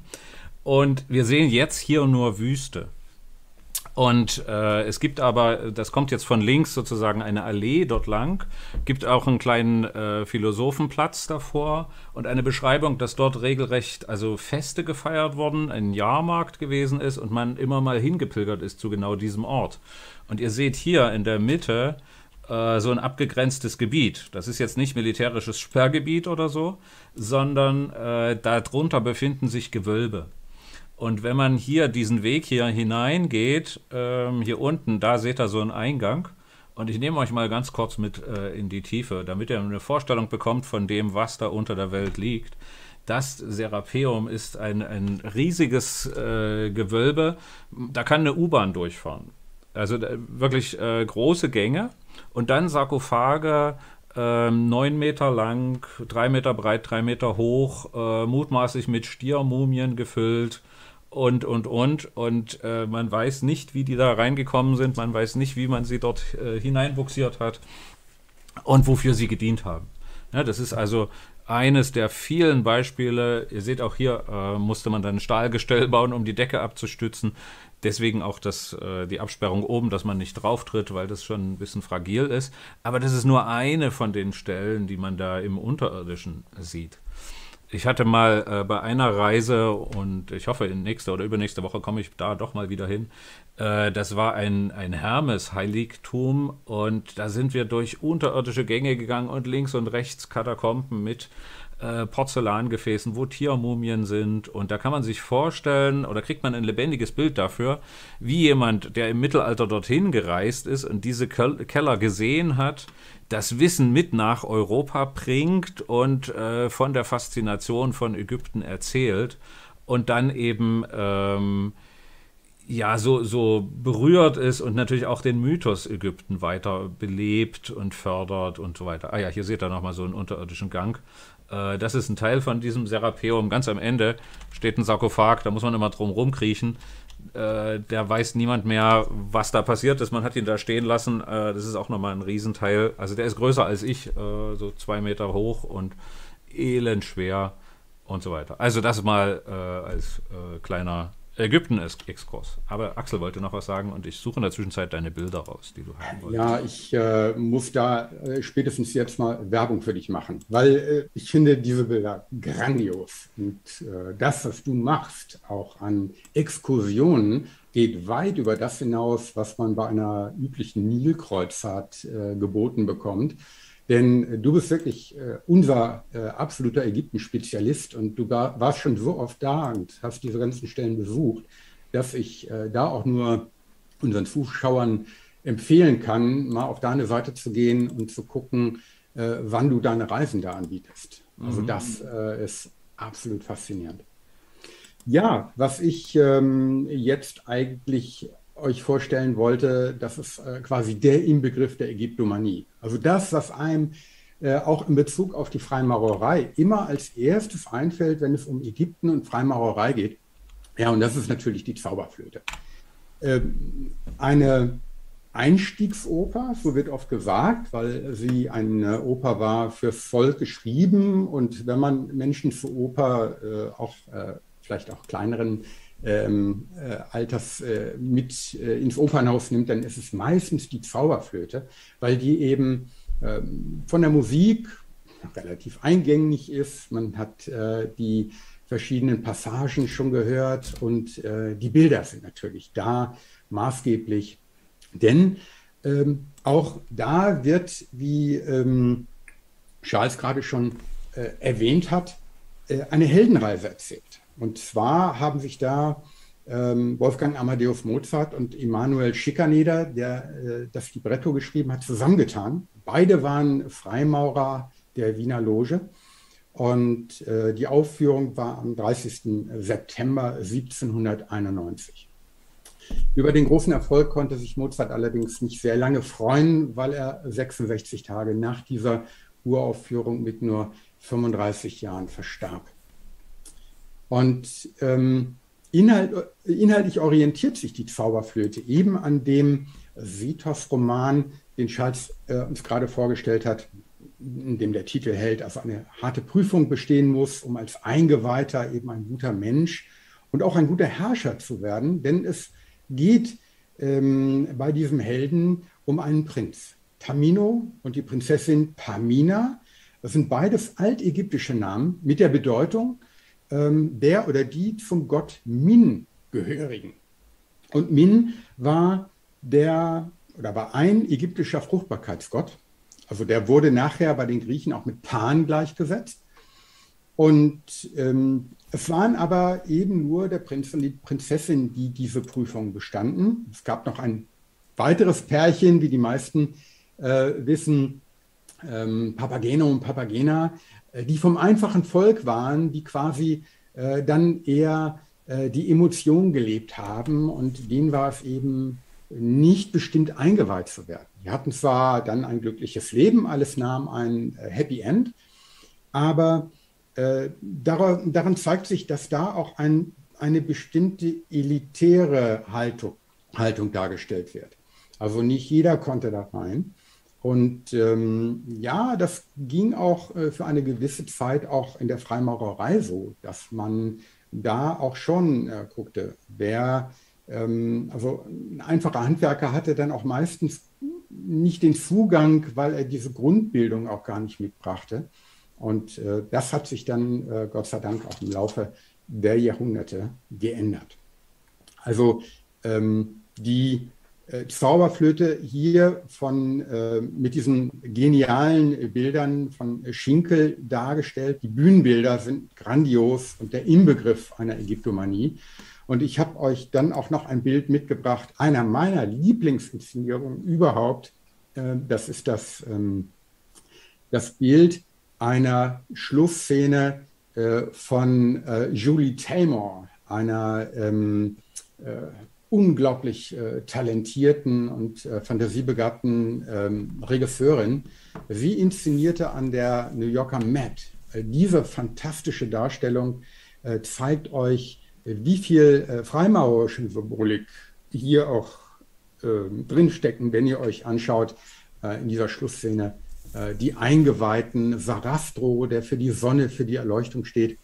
Und ähm, ja, sein Gegenpol, die Königin der Nacht. Ähm, ihr kennt die Geschichte, aber die Bilder sind großartig. Wenn ihr an diese Inszenierung kommt, kann ich sie euch nur empfehlen. Wo du gerade über die Bühnenbilder sprichst, ähm, es gibt, was die Zauberflöte angeht, äh, ganz interessante Entwicklung der Bühnenbilder. Ähm, und zwar war es so, dass erst ab dem Jahr 1815 ungefähr, also nach, das ist auch so interessant, weil, weil wie gesagt, die, die Uraufführung 1791, das ist ungefähr, da hat die französische Revolution angefangen und 1815 äh, da ist dann schon die Schlacht von Waterloo und so weiter und da ist Napoleon schon dann äh, gestürzt und da ändern sich dann auch die Bühnenbilder bei der Zauberflöte. Das ist nämlich so, dass erst ab da das ganze Bühnenbild immer im alten Ägypten spielt. Vorher ist das Bühnenbild so, dass es eigentlich in einem Landschaftsgarten spielt, der viele künstliche Grotten und, und äh, sowas wie Wasserfälle und Tempelanlagen äh, enthält, aber es ist nicht direkt das alte Ägypten, auch wenn die Handlung ans alte Ägypten angelehnt ist, aber es ist nochmal ein kleiner Unterschied. Und es spielt eigentlich vorher in so einem, so einem freimaurerischen Landschaftsgarten, wie sie ihn auch viele Schlösser dieser Zeit haben. Und das wiederum, dass sich das dann aber ändert, und äh, dann doch ganz ins alte Ägypten verlegt wird, das hat mit Napoleons Ägypten-Expedition, über die wir noch sprechen werden, zu tun. Aber das wollte ich nur mal kurz einschießen zu den äh, Bühnenbildern, weil sie diese Entwicklung durchgemacht haben. Ja, das ist richtig gut, dass du das erwähnst, weil äh, da gibt es natürlich nachher in der Rezeptionsgeschichte auch in diesen Gärten ähm, ja, ägyptische Symbole ähm, ohne Ende. Und äh, ja, da kommen wir noch zu. Ja, Napoleon, was wollte ich euch sagen? Napoleon, ähm, es ist eine unfassbare Reise, die er da äh, unternommen hat. Und er hat einen Feldzug äh, nach Ägypten unternommen. Und äh, das ist eine Abenteuergeschichte, die ist so unglaublich. Ich kann sie auch nur anreißen. Ähm, sie begann im Mai 1798.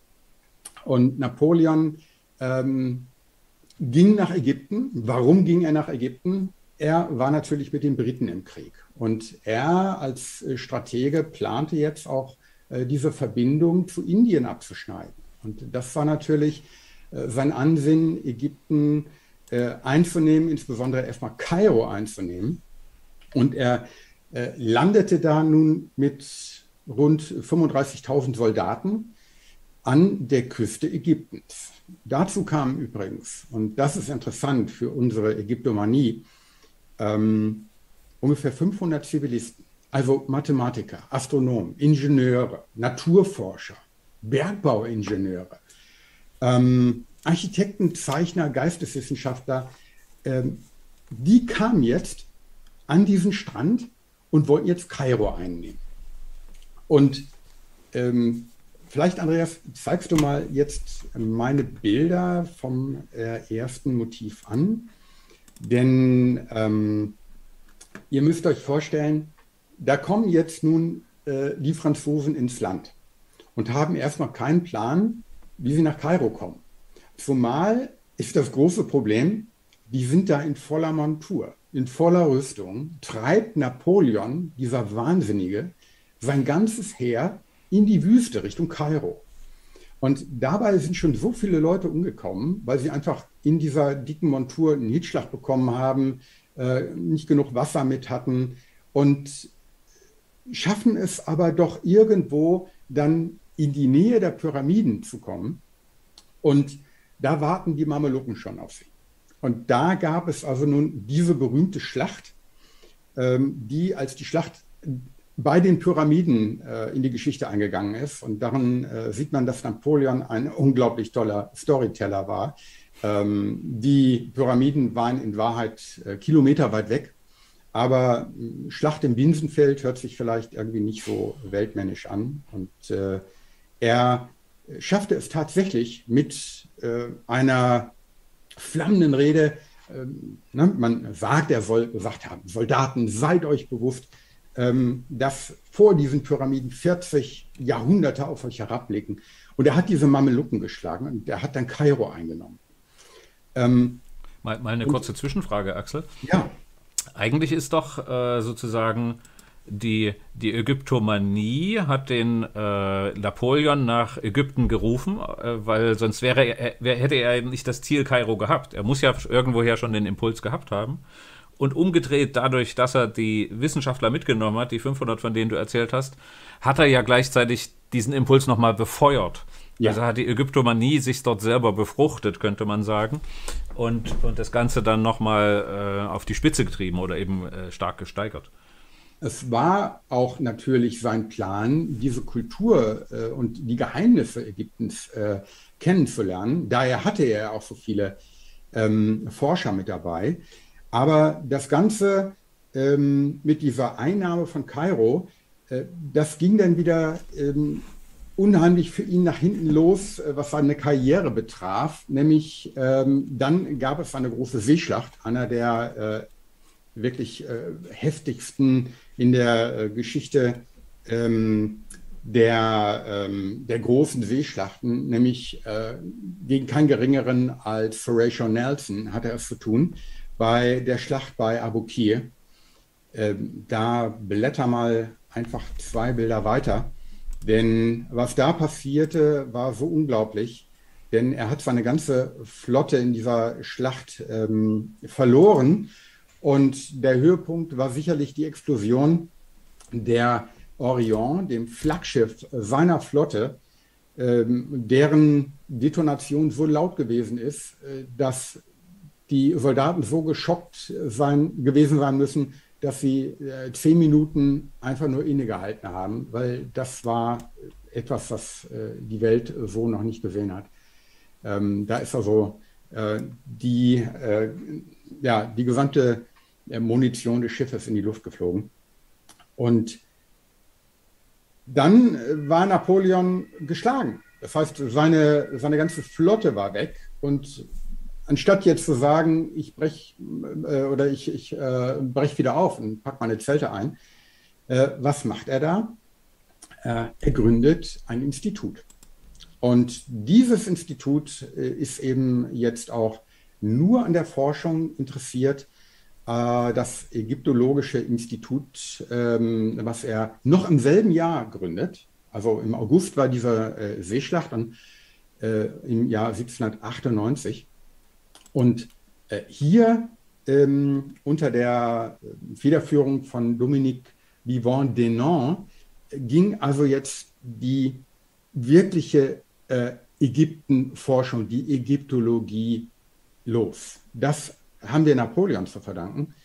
Und ähm, wir sehen also jetzt hier im nächsten Bild eine Darstellung äh, von Denon, wo wir sehen, wie er umgeben ist von diesen ganzen Schätzen, die er da akribisch untersucht.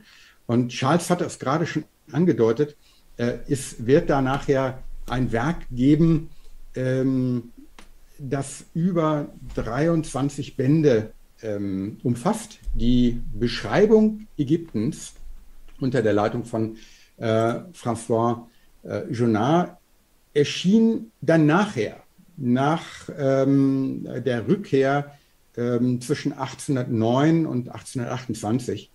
Ähm, es sind elf Bildbände, es sind über 3000 Abbildungen, äh, gegliedert in elf Abschnitten. Das ist ein unfassbares Werk, was oft auch mit der Enzyklopädie von äh, Diderot verglichen wird. Ähm, Wenn ich kurz einhaken darf. Ja. Äh, wir haben hier das, das, äh, eine kleine Ausgabe sozusagen, Taschenverlag ist das. Passend zur Hand. Passend ja. zur Hand, genau. und ja, ihr so seht aber, auch, na gut, sieht man jetzt nicht so gut, aber äh, ich blätter mal ein bisschen drin. Ähm, unfassbare, detaillierte Zeichnungen. Das, das ist fast zu schade, die in dieser kleinen Größe zu sehen. Da muss man wirklich das große, die Prachtausgabe haben.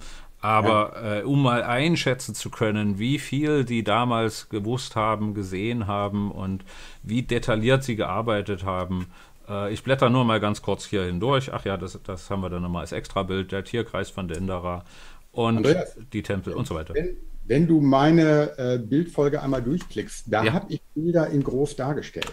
Dann machen wir das nochmal. maßgeblichen Illustratoren ähm, der Zeit, die Vielleicht einfach, einfach mal ganz kurz was dazu ja. sagen und, und nicht zu ausführlich, da wir doch ein bisschen äh, auch Blätter auf die Zeit gucken müssen, ja. Ich hatte diese Bilder einfach noch rausgesucht, um euch einen Eindruck zu ah, vermitteln. Mhm. Da sind Werke bei, äh, da wurde natürlich auch die Flora und Fauna untersucht, die, die Geografie. Das ist die, der, der Eingang in die große Pyramide. Ähm, und auch der ähm, Dendera-Kreis ist dargestellt, aber auch architektonische Illustration. Ihr seht, wie verschüttet es damals alles noch war, unter ähm, jahrhundertelangen Sanddünen ähm, begraben, jahrhundertelang. Äh, was man damals als Ruinen fand, sah ungefähr so aus. Und das hat man damals festgehalten. Was man auch heute noch sieht, wenn man an den Tempeln steht, das müsste in dem Fall Komombo sein, ähm, dass du irgendwo in einer unerreichbaren Höhe äh, Ritzmarken hast. Also so wie man das in, in Europa an den Kirchen hat, dass die Pilger da sich ein bisschen Stein von der heiligen Kirche abgekratzt hat, haben. Äh, ja. Das sieht man auch in Ägypten an den Tempeln, aber eben dann in vier, fünf, sechs, sieben Metern Höhe, wo mhm. man weiß, dort war der Sand. Ja, oder äh, auch äh, andere Tempel, da sind die Decken komplett schwarz, weil die Leute da drinnen einfach gelebt und gehaust haben und dann haben die ein Feuer gemacht, die Decke ist verrußt und da hat man jetzt zum Glück erst eine Technologie gefunden, um den Ruß wieder abzumachen und die alten Farbschichten aber nicht zu zerstören. Äh, da, da kommt jetzt auch noch, noch mal wieder was Neues hervor, was sozusagen dieser, dieses alte, die alte Faszination von Ägypten ist. Ja, also um es mit Napoleon kurz zu machen, ähm, er hatte mit Seuchen zu tun, er hatte immer wieder mit den Briten zu tun, er musste dann ähm, notgedrungen Ägypten verlassen, hat sich aber dann auch gleichzeitig Gedanken gemacht, wie verkaufe ich das meinen Landsleuten, wie verkaufe ich das in Paris und äh, was man an Napoleon äh, immer wieder sieht, der zieht sich immer wieder aus dem Sumpf. Er hat diese ägyptische Zeit als einen Triumphzug gefeiert. Er hat äh, Münzen drucken lassen, um sich selber quasi als ja, nahezu Pharao darzustellen. Es war ähm, wirklich ein Triumph, als er nach äh, Paris zurückkam. Und ähm, er hat im Spätsommer 1801 Paris verlassen.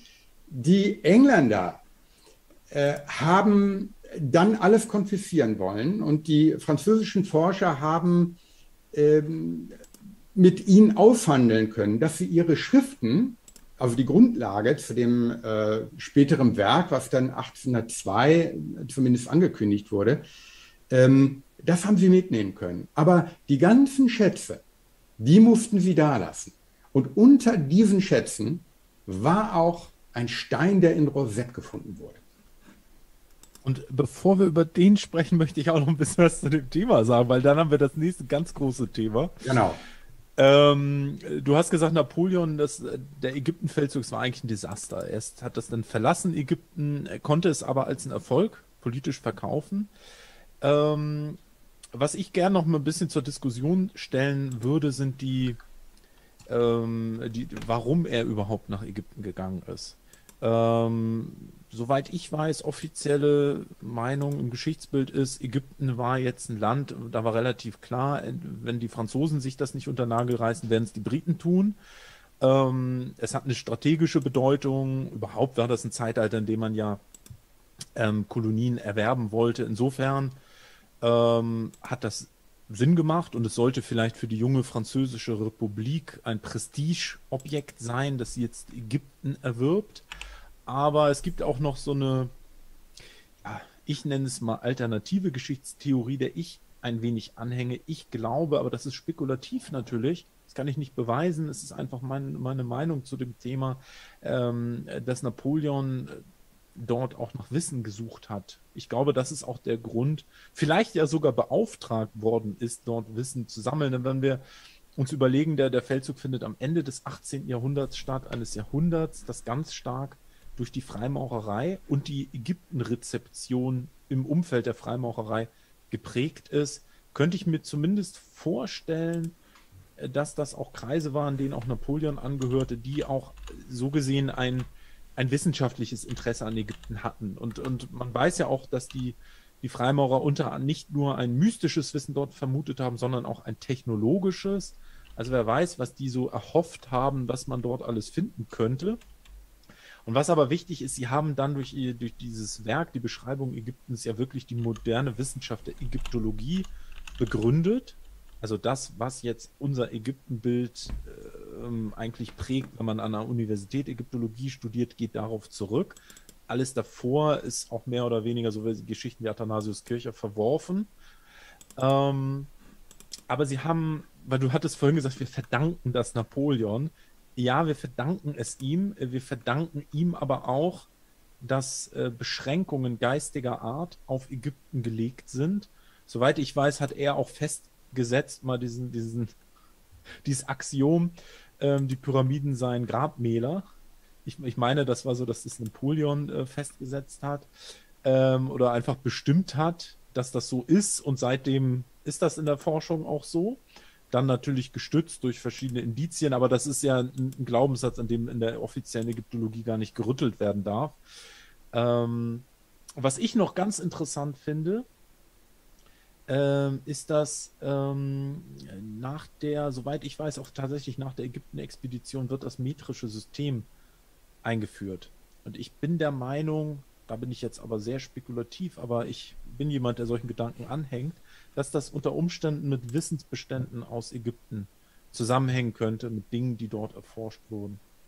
Ja, das kann natürlich sein, aber wir haben auch hier in, in äh, Europa äh, durch Napoleon äh, natürlich unheimlich viele äh, Maßeinheiten vereinheitlicht bekommen.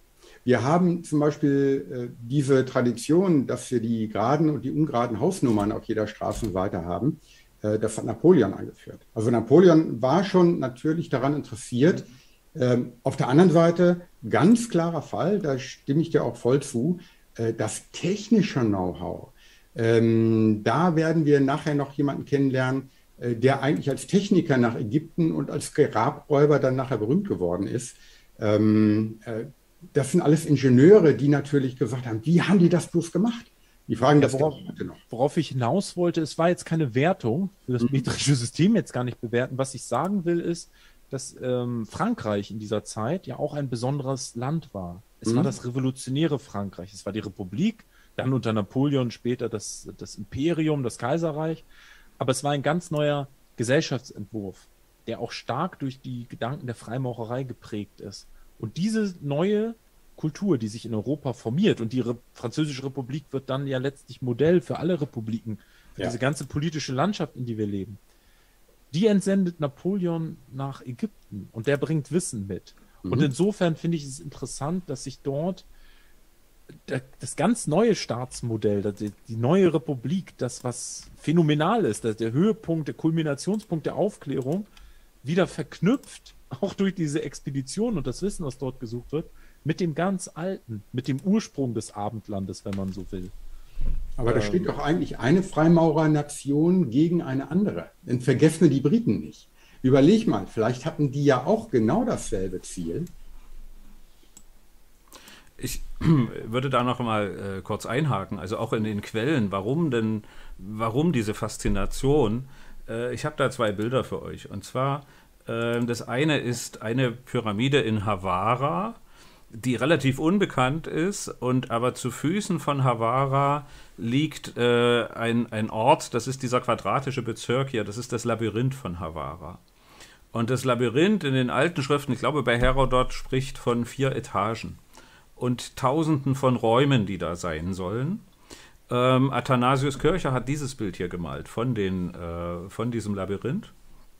Ihr seht also äh, am Rand sozusagen die, die äh, Gewölbeumfassung, ne, wie das da drinnen aus, also wie, wie das Gewölbe getragen sein soll. Und in der Mitte in einer guten Labyrinth hat er dann reingemalt und ein paar Irrgärten und weil er natürlich nicht wusste, wie es aussieht.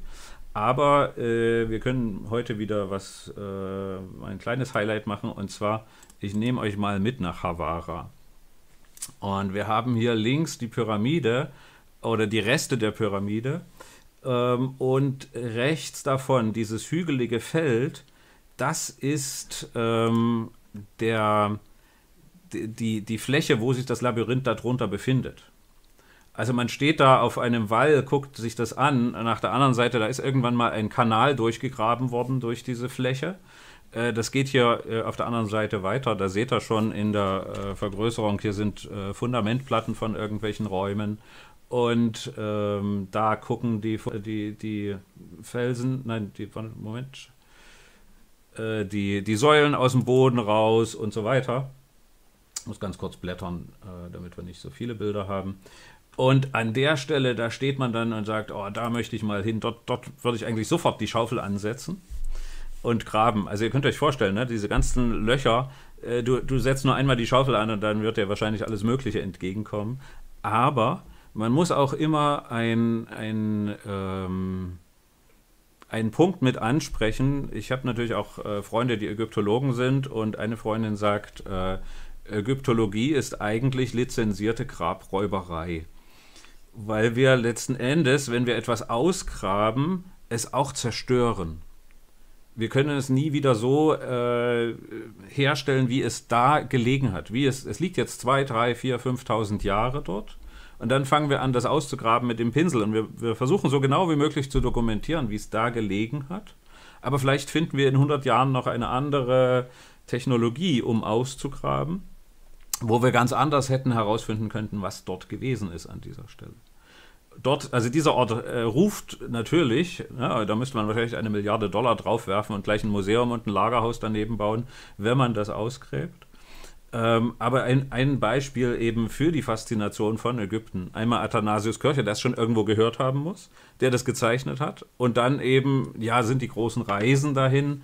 Äh, Havara müssen wir sehen und, und äh, Lahun, Gizeh und so weiter. Ja.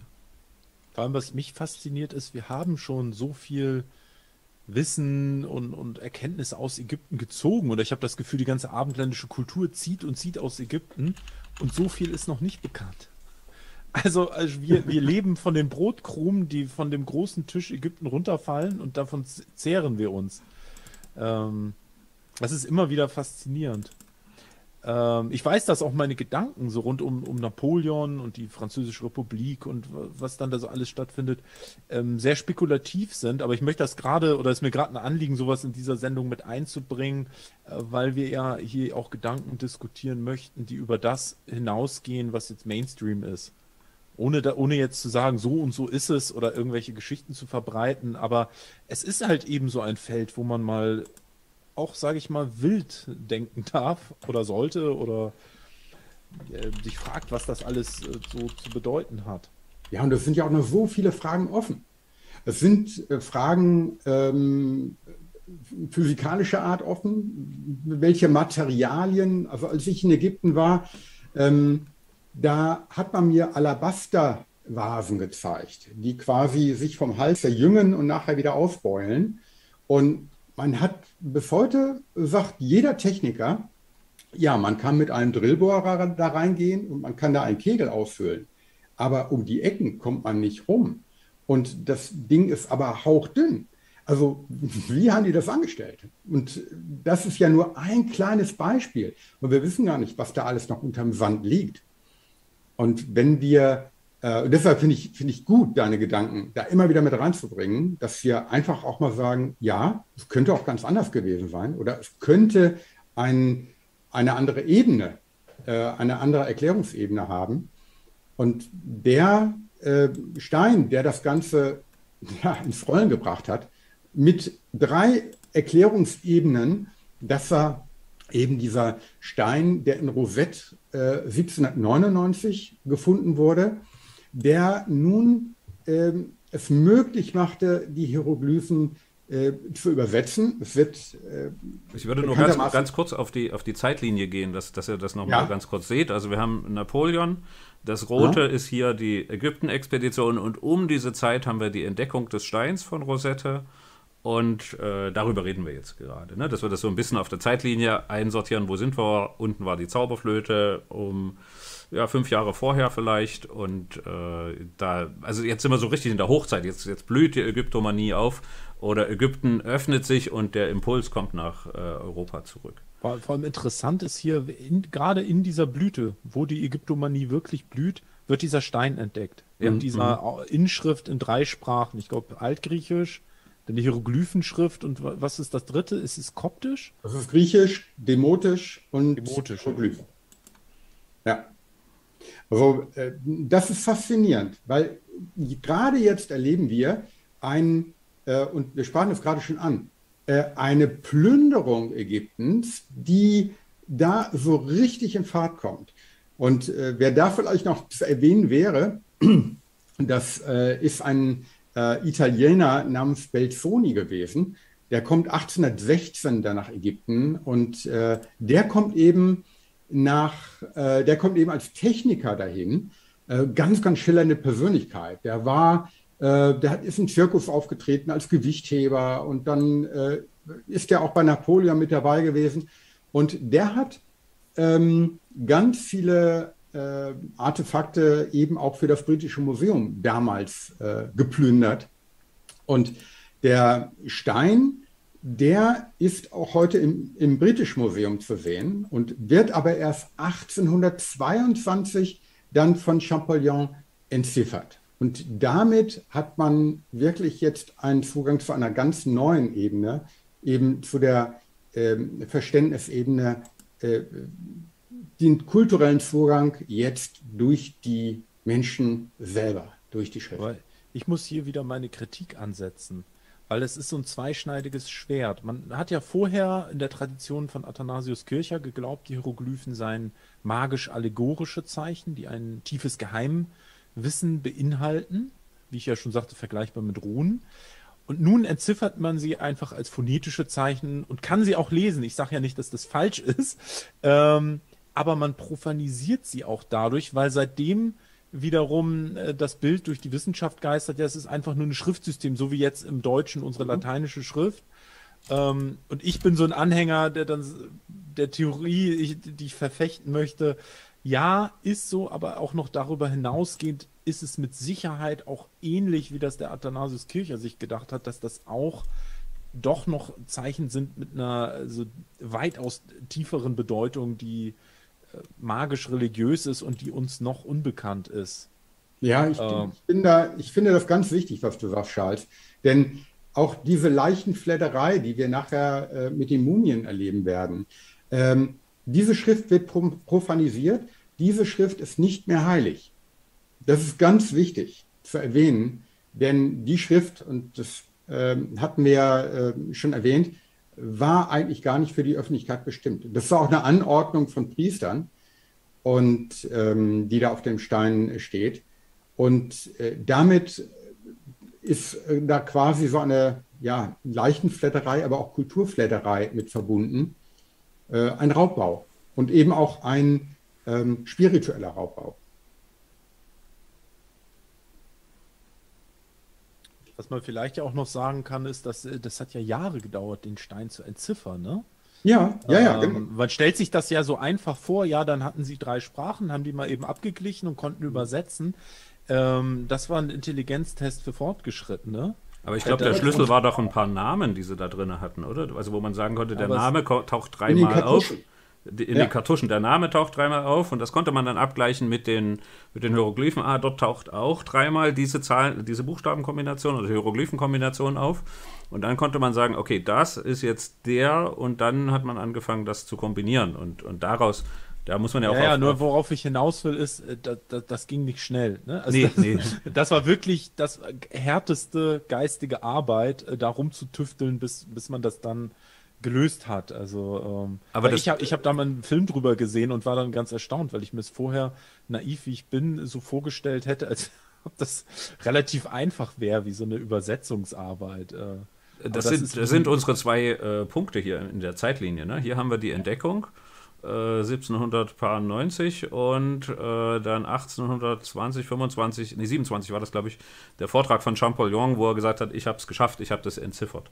Also genau. seht ihr, wie viel Zeit dazwischen, so ungefähr 30 Jahre glaube ich, ja. äh, so grob dazwischen liegt, zwischen Find, äh, Auffindung des Steines und der äh, Entschlüsselung.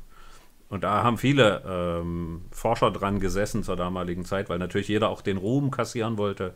Äh, ich habe die Hieroglyphen entziffert. Und aber umgedreht auch muss man dann natürlich nochmal die Genialität von Athanasius Kircher hervorheben, dass er schon so viel wusste und konnte, ohne den Stein von Rosette, dass er voraussagen konnte, wie die Rückseite von dem äh, Obelisken aussehen würde. Ich will noch was Interessantes zu ihm sagen. Ähm, das hatte ich vorhin gar nicht erwähnt. Er war der Erste, der in Europa eine Grammatik für die koptische Sprache entwickelt hat. Also der war auch Sprachgelehrter. Der hat mhm. exotische Sprachen zu seiner Zeit gelernt und erforscht und eine davon war halt koptisch. Und er hatte auch als erster die, die Theorie, dass das Koptische aus dem Altägyptischen wohl entstanden ist, mit der er ja sprachgeschichtlich richtig liegt. Und er ist aber nie, während all der Jahre, die er geforscht hat, das ist ja das Faszinierende, auf die Idee gekommen, jetzt die Hieroglyphen mit der koptischen Sprache irgendwie in Verbindung zu bringen oder das Koptische heranzuziehen um über diesen Wege zu versuchen, die zu ähm, entschlüsseln. Er wäre natürlich wahrscheinlich damit ja gescheitert, weil er nicht so, so einen Stein hatte. Ähm, aber das wäre eigentlich der, der, wahrscheinlich der Forschungsansatz gewesen, den moderner Forscher ähm, äh, benutzt hätte, dem, dem er nachgegangen wäre. Der, der Athanasius Kircher, ein Genie von einem Menschen, mhm. hat das nie gemacht. Man kann sich fragen, warum. Also er war so davon überzeugt, dass die, dass die Hieroglyphen magische Einweihungssymbole sind und, und nur über diesen Wege zu, zu verstehen sind, ähm, dass, er, dass er das nie äh, in Beziehung gesetzt hat, koptisch und Hieroglyphen. Eine kleine Kuriosität auch rund um seine Person und seine Ägyptenforschung im 17. Jahrhundert.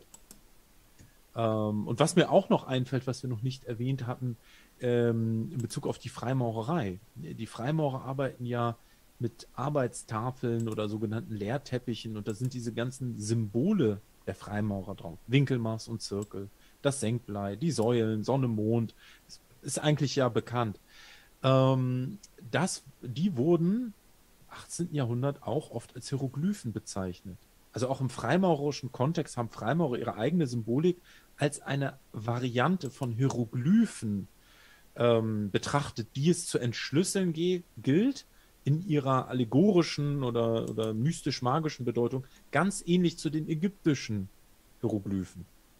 Ähm, und auch da sozusagen die, diese Analogie ähm, zum, zu dem, was man unter Ägypten verstanden hat, sich vorgestellt hat. Also man war dann auch als Freimaurer im 18. Jahrhundert, 18. Jahrhundert auch im Besitz geheimer Hieroglyphen.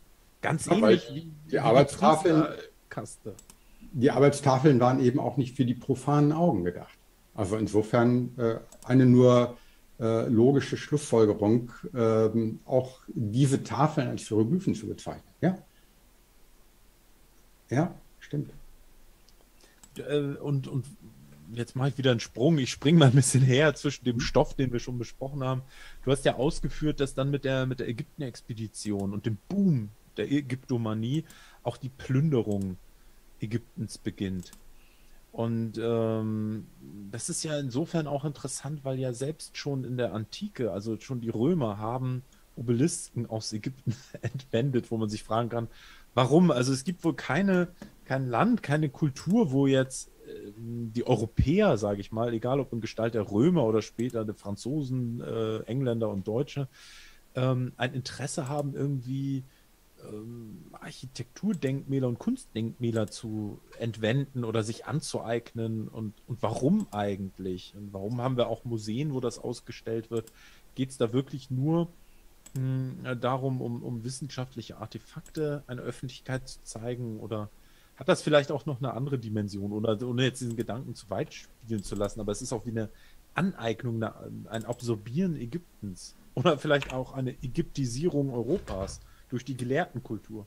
Du hast da natürlich äh, zwei äh, Ebenen. Also einmal hast du die symbolische Ebene, dass du ähm, sagst, du hast in deiner Hauptstadt einen Obelisken stehen. Und äh, interessanterweise wurden diese Obelisken ja oftmals oder meistens wurden sie ja dual dargestellt. Es waren ja immer zwei nebeneinander. Und da, und das hat natürlich auch mit den Transportschwierigkeiten zu tun, ähm, gab es einen Obeliskenhandel.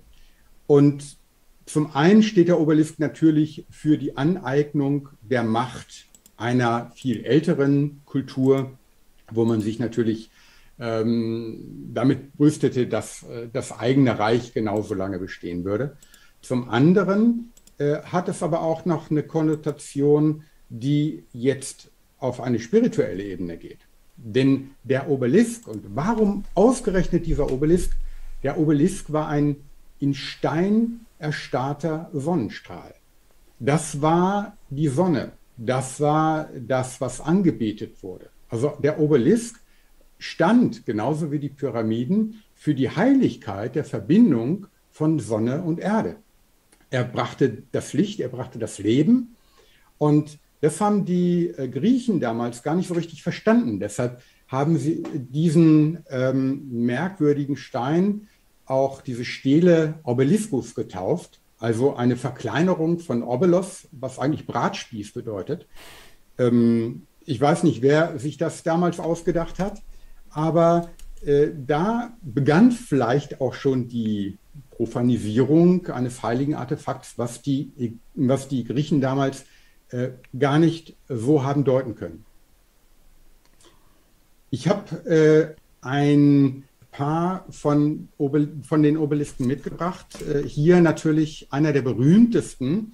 Äh, der stammt schon aus römischer Zeit und der wurde dann äh, nachher äh, bei der Architektur des Petersplatzes dann ähm, in die Mitte gestellt und ähm, war früher im Zentrum des äh, Zirkus von äh, Kaiser Nero aufgestellt. Und äh, 1586 äh, hat Domenico Fontana nun ähm, diesen heutigen Standpunkt gewählt, wirklich als äh, Nabel auch des Christentums. Und ihr erkennt, auf dem Obelisk ist ein christliches Kreuz. Das heißt also, wir haben Ägypten ähm, quasi assimiliert das ist eigentlich das, was mir dieser Obelisk dort äh, vermitteln soll. Oder, oder die Kirche bekennt sich letzten Endes zu ihrem ägyptischen, zu ihren ägyptischen Wurzeln. Wurzeln, ja. Vielleicht auch in einer verschleierten Art und Weise. Die, die Frage, ist Ägypten absorbiert oder ist Ägypten wieder zum Vorschein gekommen? Hat es sich in gewissermaßen offenbart wieder? Oder hat es je aufgehört? Ich kann ja, noch besser, eine vielleicht ja. noch bessere Frage. Ich glaube, das hier aufgeführt, aufgehört. Ja, ja ich, wir, ich kann euch noch Bilder zeigen. Entschuldigung, äh, ich kann euch Bilder zeigen äh, aus dem inneren äh, Räumen des Vatikans, wo äh, eindeutig zu sehen ist, dass dort also Sarkophage stehen, ägyptische Löwen und so weiter. Und wir haben ja auch die äh, Madonna, die das Jesuskind auf dem Schoß hält und, und säugt oder, oder bei uns mehr auf dem Schoß hält. Im Ägyptischen haben wir das immer als Isis mit dem Horuskind auf dem Schoß. Mhm. Das ist ganz eindeutig ägyptisch, was da passiert. Und ja. ja, und man kann ja auch drüber streiten, ob das äh, Judentum nicht ägyptisch ist. In einer gewissen Form.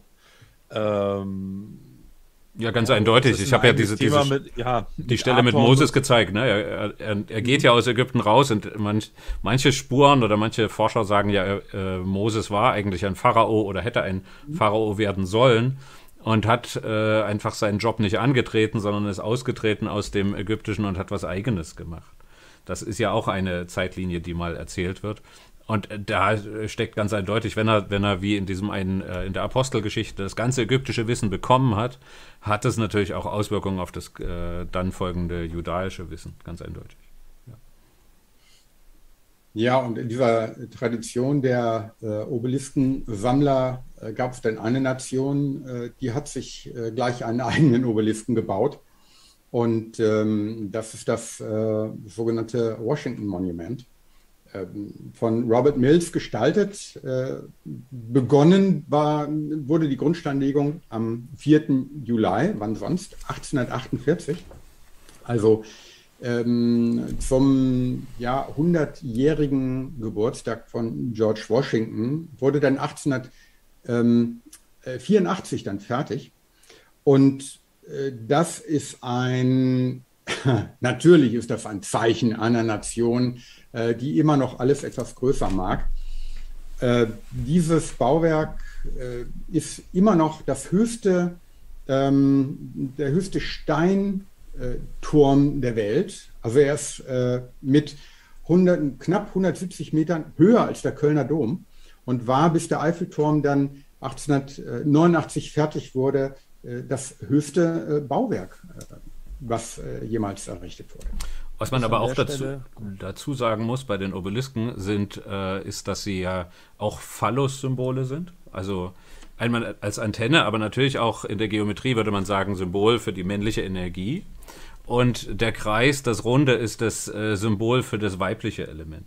Das haben wir hier sogar in diesem Bild recht deutlich dargestellt, dass wir also den, den Phallus haben und die, sagen wir mal, die, die Begegnung von männlichem und weiblichem, weil wir den Kreis drumherum haben.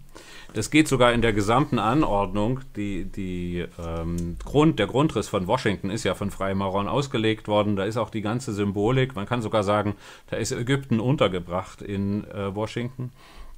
Es gibt ja das ähm, Hauptregierungsbüro, sagen wir mal, das Oval Office. Und wenn ich es jetzt richtig in Erinnerung habe, zur Sommersonnenwende fällt der Schatten von dem äh, Obelisken genau in das Oval, Oval Office. Das heißt, das äh, wird befruchtet ähm, oder die Himmel und Erde verbinden sich, wie man das auch nennen möchte. Und für die, die, also ein Symbol bei uns, der Maibaum, noch. Da haben wir den, den äh, ja auch Phallus oder eben den Obelisken, nur dass es ein Holzteil ist und dann der, der Fruchtbarkeitskranz, der da drumherum ist.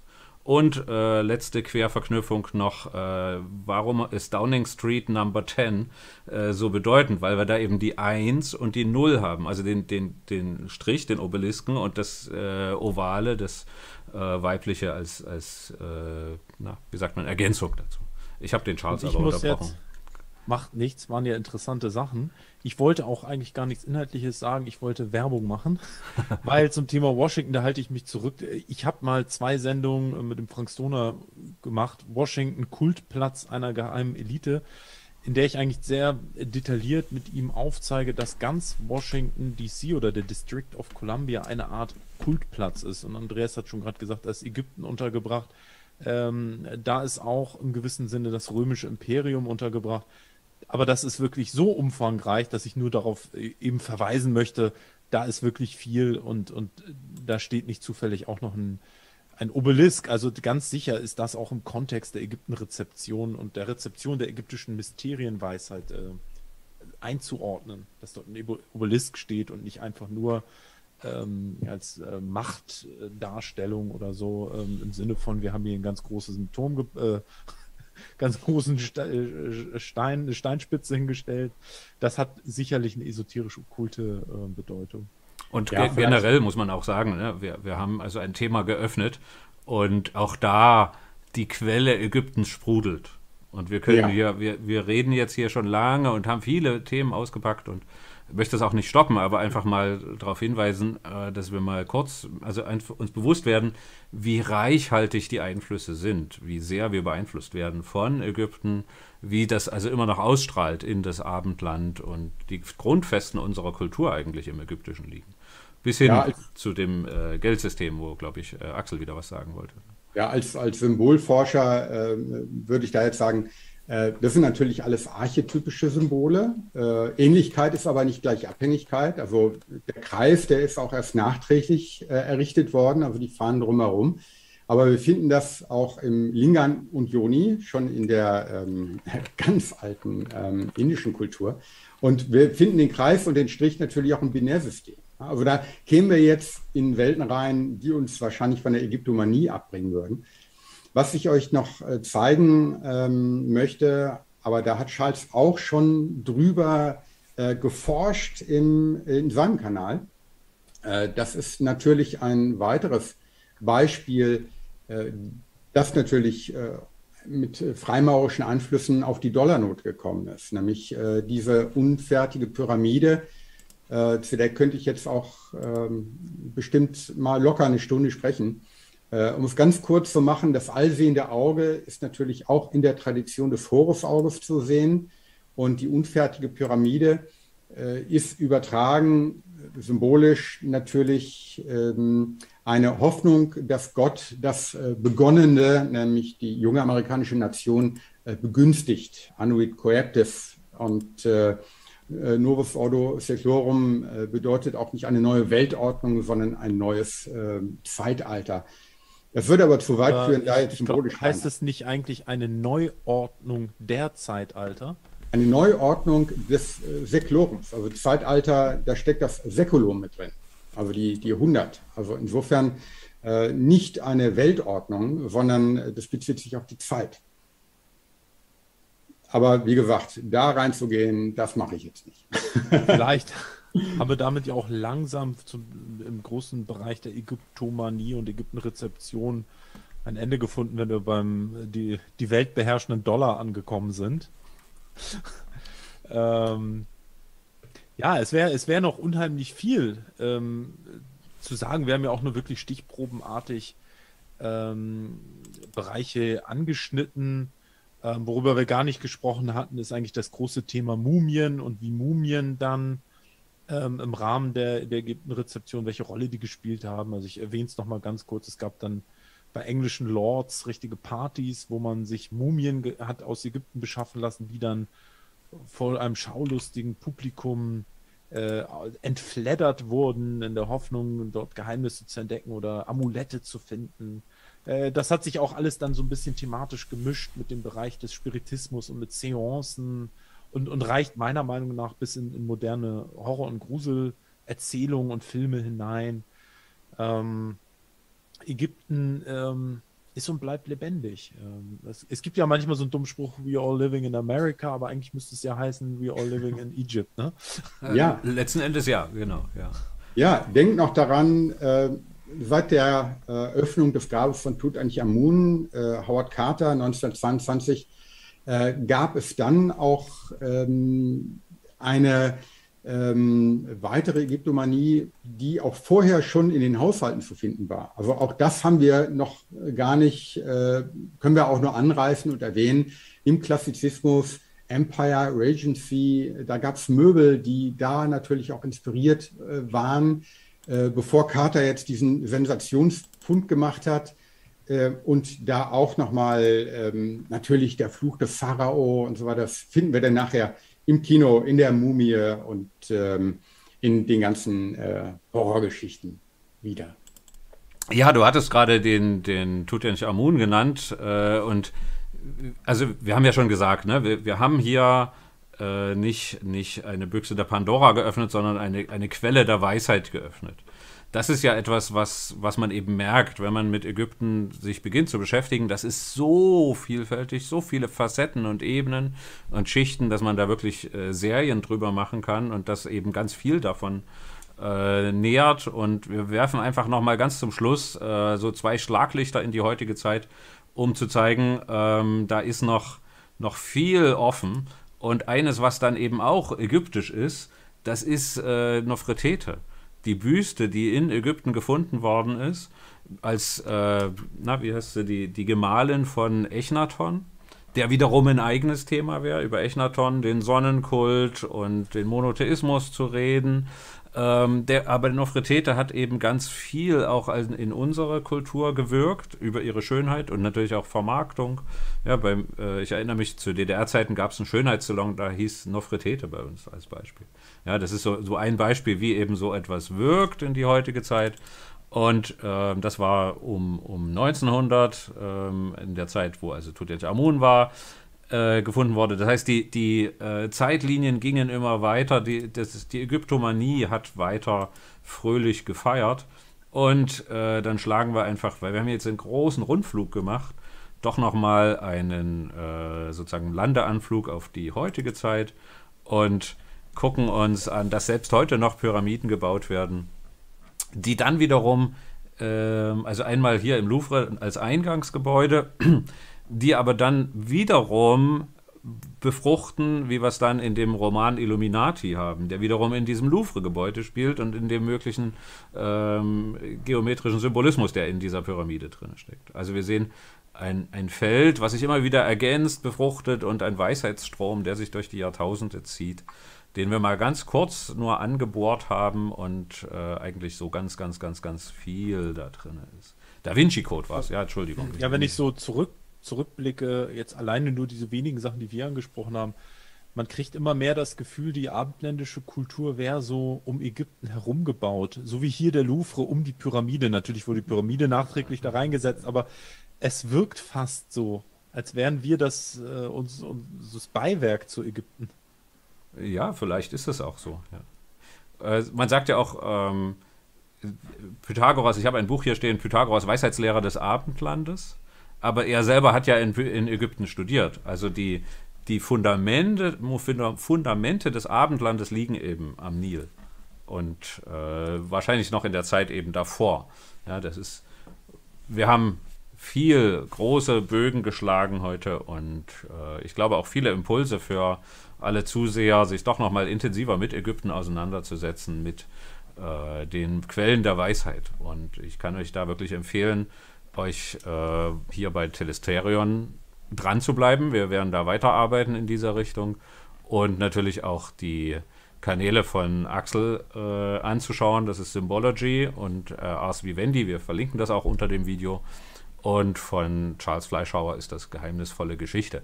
Das ähm, die Geschichte des Abendlandes ist viel, viel mehr als nur das, was im Spiegel und Fokus und Zeit steht, sondern da gibt es ganz, ganz andere Quellen. Und das ist auch einer der Gründe, warum wir Telesterion gemacht haben, um eben zu zeigen, wo die wirkliche Quelle liegt. Und manchmal muss man eben äh, zur Quelle zurückschwimmen. Und wer zur Quelle schwimmt, der schwimmt äh, nicht mit dem Strom, sondern gegen den Strom. Und ich gebe euch gerne nochmal das Wort in die Runde, wenn ihr noch was zum Abschluss sagen wollt. Ja, wir haben genug geredet. Liebe Zuschauer, habt äh, entspannt euch schön, ähm, schreibt Kommentare, ähm, eure Gedanken und Anregungen und äh, ich bin einfach gespannt, was da kommt. Ja, bleibt uns treu. Es ist schön, so ein Thema auch äh, zu dritt, weil wir ja auch von ganz unterschiedlichen Richtungen kommen, aber so viele ähm, äh, leidenschaftliche Schnittmengen auch hier finden dass wir das machen können, euch präsentieren können. Das macht uns einfach Spaß. Und äh, wir würden uns natürlich freuen, wenn ihr das äh, wertschätzt und einfach dranbleibt bei Telesterion und wir machen weiter. Genau. Und in dem Sinne, also, äh, ihr dürft das frei verteilen. Äh, reicht es weiter, sagt, da sind drei Typen, die machen ganz wunderbare Arbeit. Und äh, ihr dürft auch also unsere Kanäle abonnieren, äh, unsere Telegram-Kanäle abonnieren, weiter verteilen. Und ihr dürft auch gerne eine kleine äh, Spende rüberreichen, das muss man ja heutzutage auch sagen, äh, dass die ganze Technik da äh, am Leben erhalten werden kann, damit die Quellen weitergetragen werden können. In diesem Sinne würde ich sagen, also vielen, vielen, vielen Dank, dass ihr dran geblieben seid. Und ähm, bis zum nächsten Mal, wenn es wieder heißt Telesterion, ähm, live oder Konferenz. Das werden wir sehen, was als nächstes kommt. Ähm, ich glaube, wir haben die, den Hermetismus in der Pipeline, oder? Mal gucken, was uns da als nächstes ja, ruft oder. noch, wenn alles klappt, eine sehr interessante Sendung mit einem Gast. Aber wer, mehr werde ich jetzt nicht verraten, fies wie ich bin. Überraschung. Aber die, die Quintessenz, können wir sagen, ist Telesterion lebt und Telesterion geht weiter. Und deswegen bleibt bitte dran. Ähm, es verabschieden sich für heute der Axel, der Charles und der Andreas. Macht's gut. Tschüss, bis bald mal. Ciao. Ciao. Ciao, liebe Leute.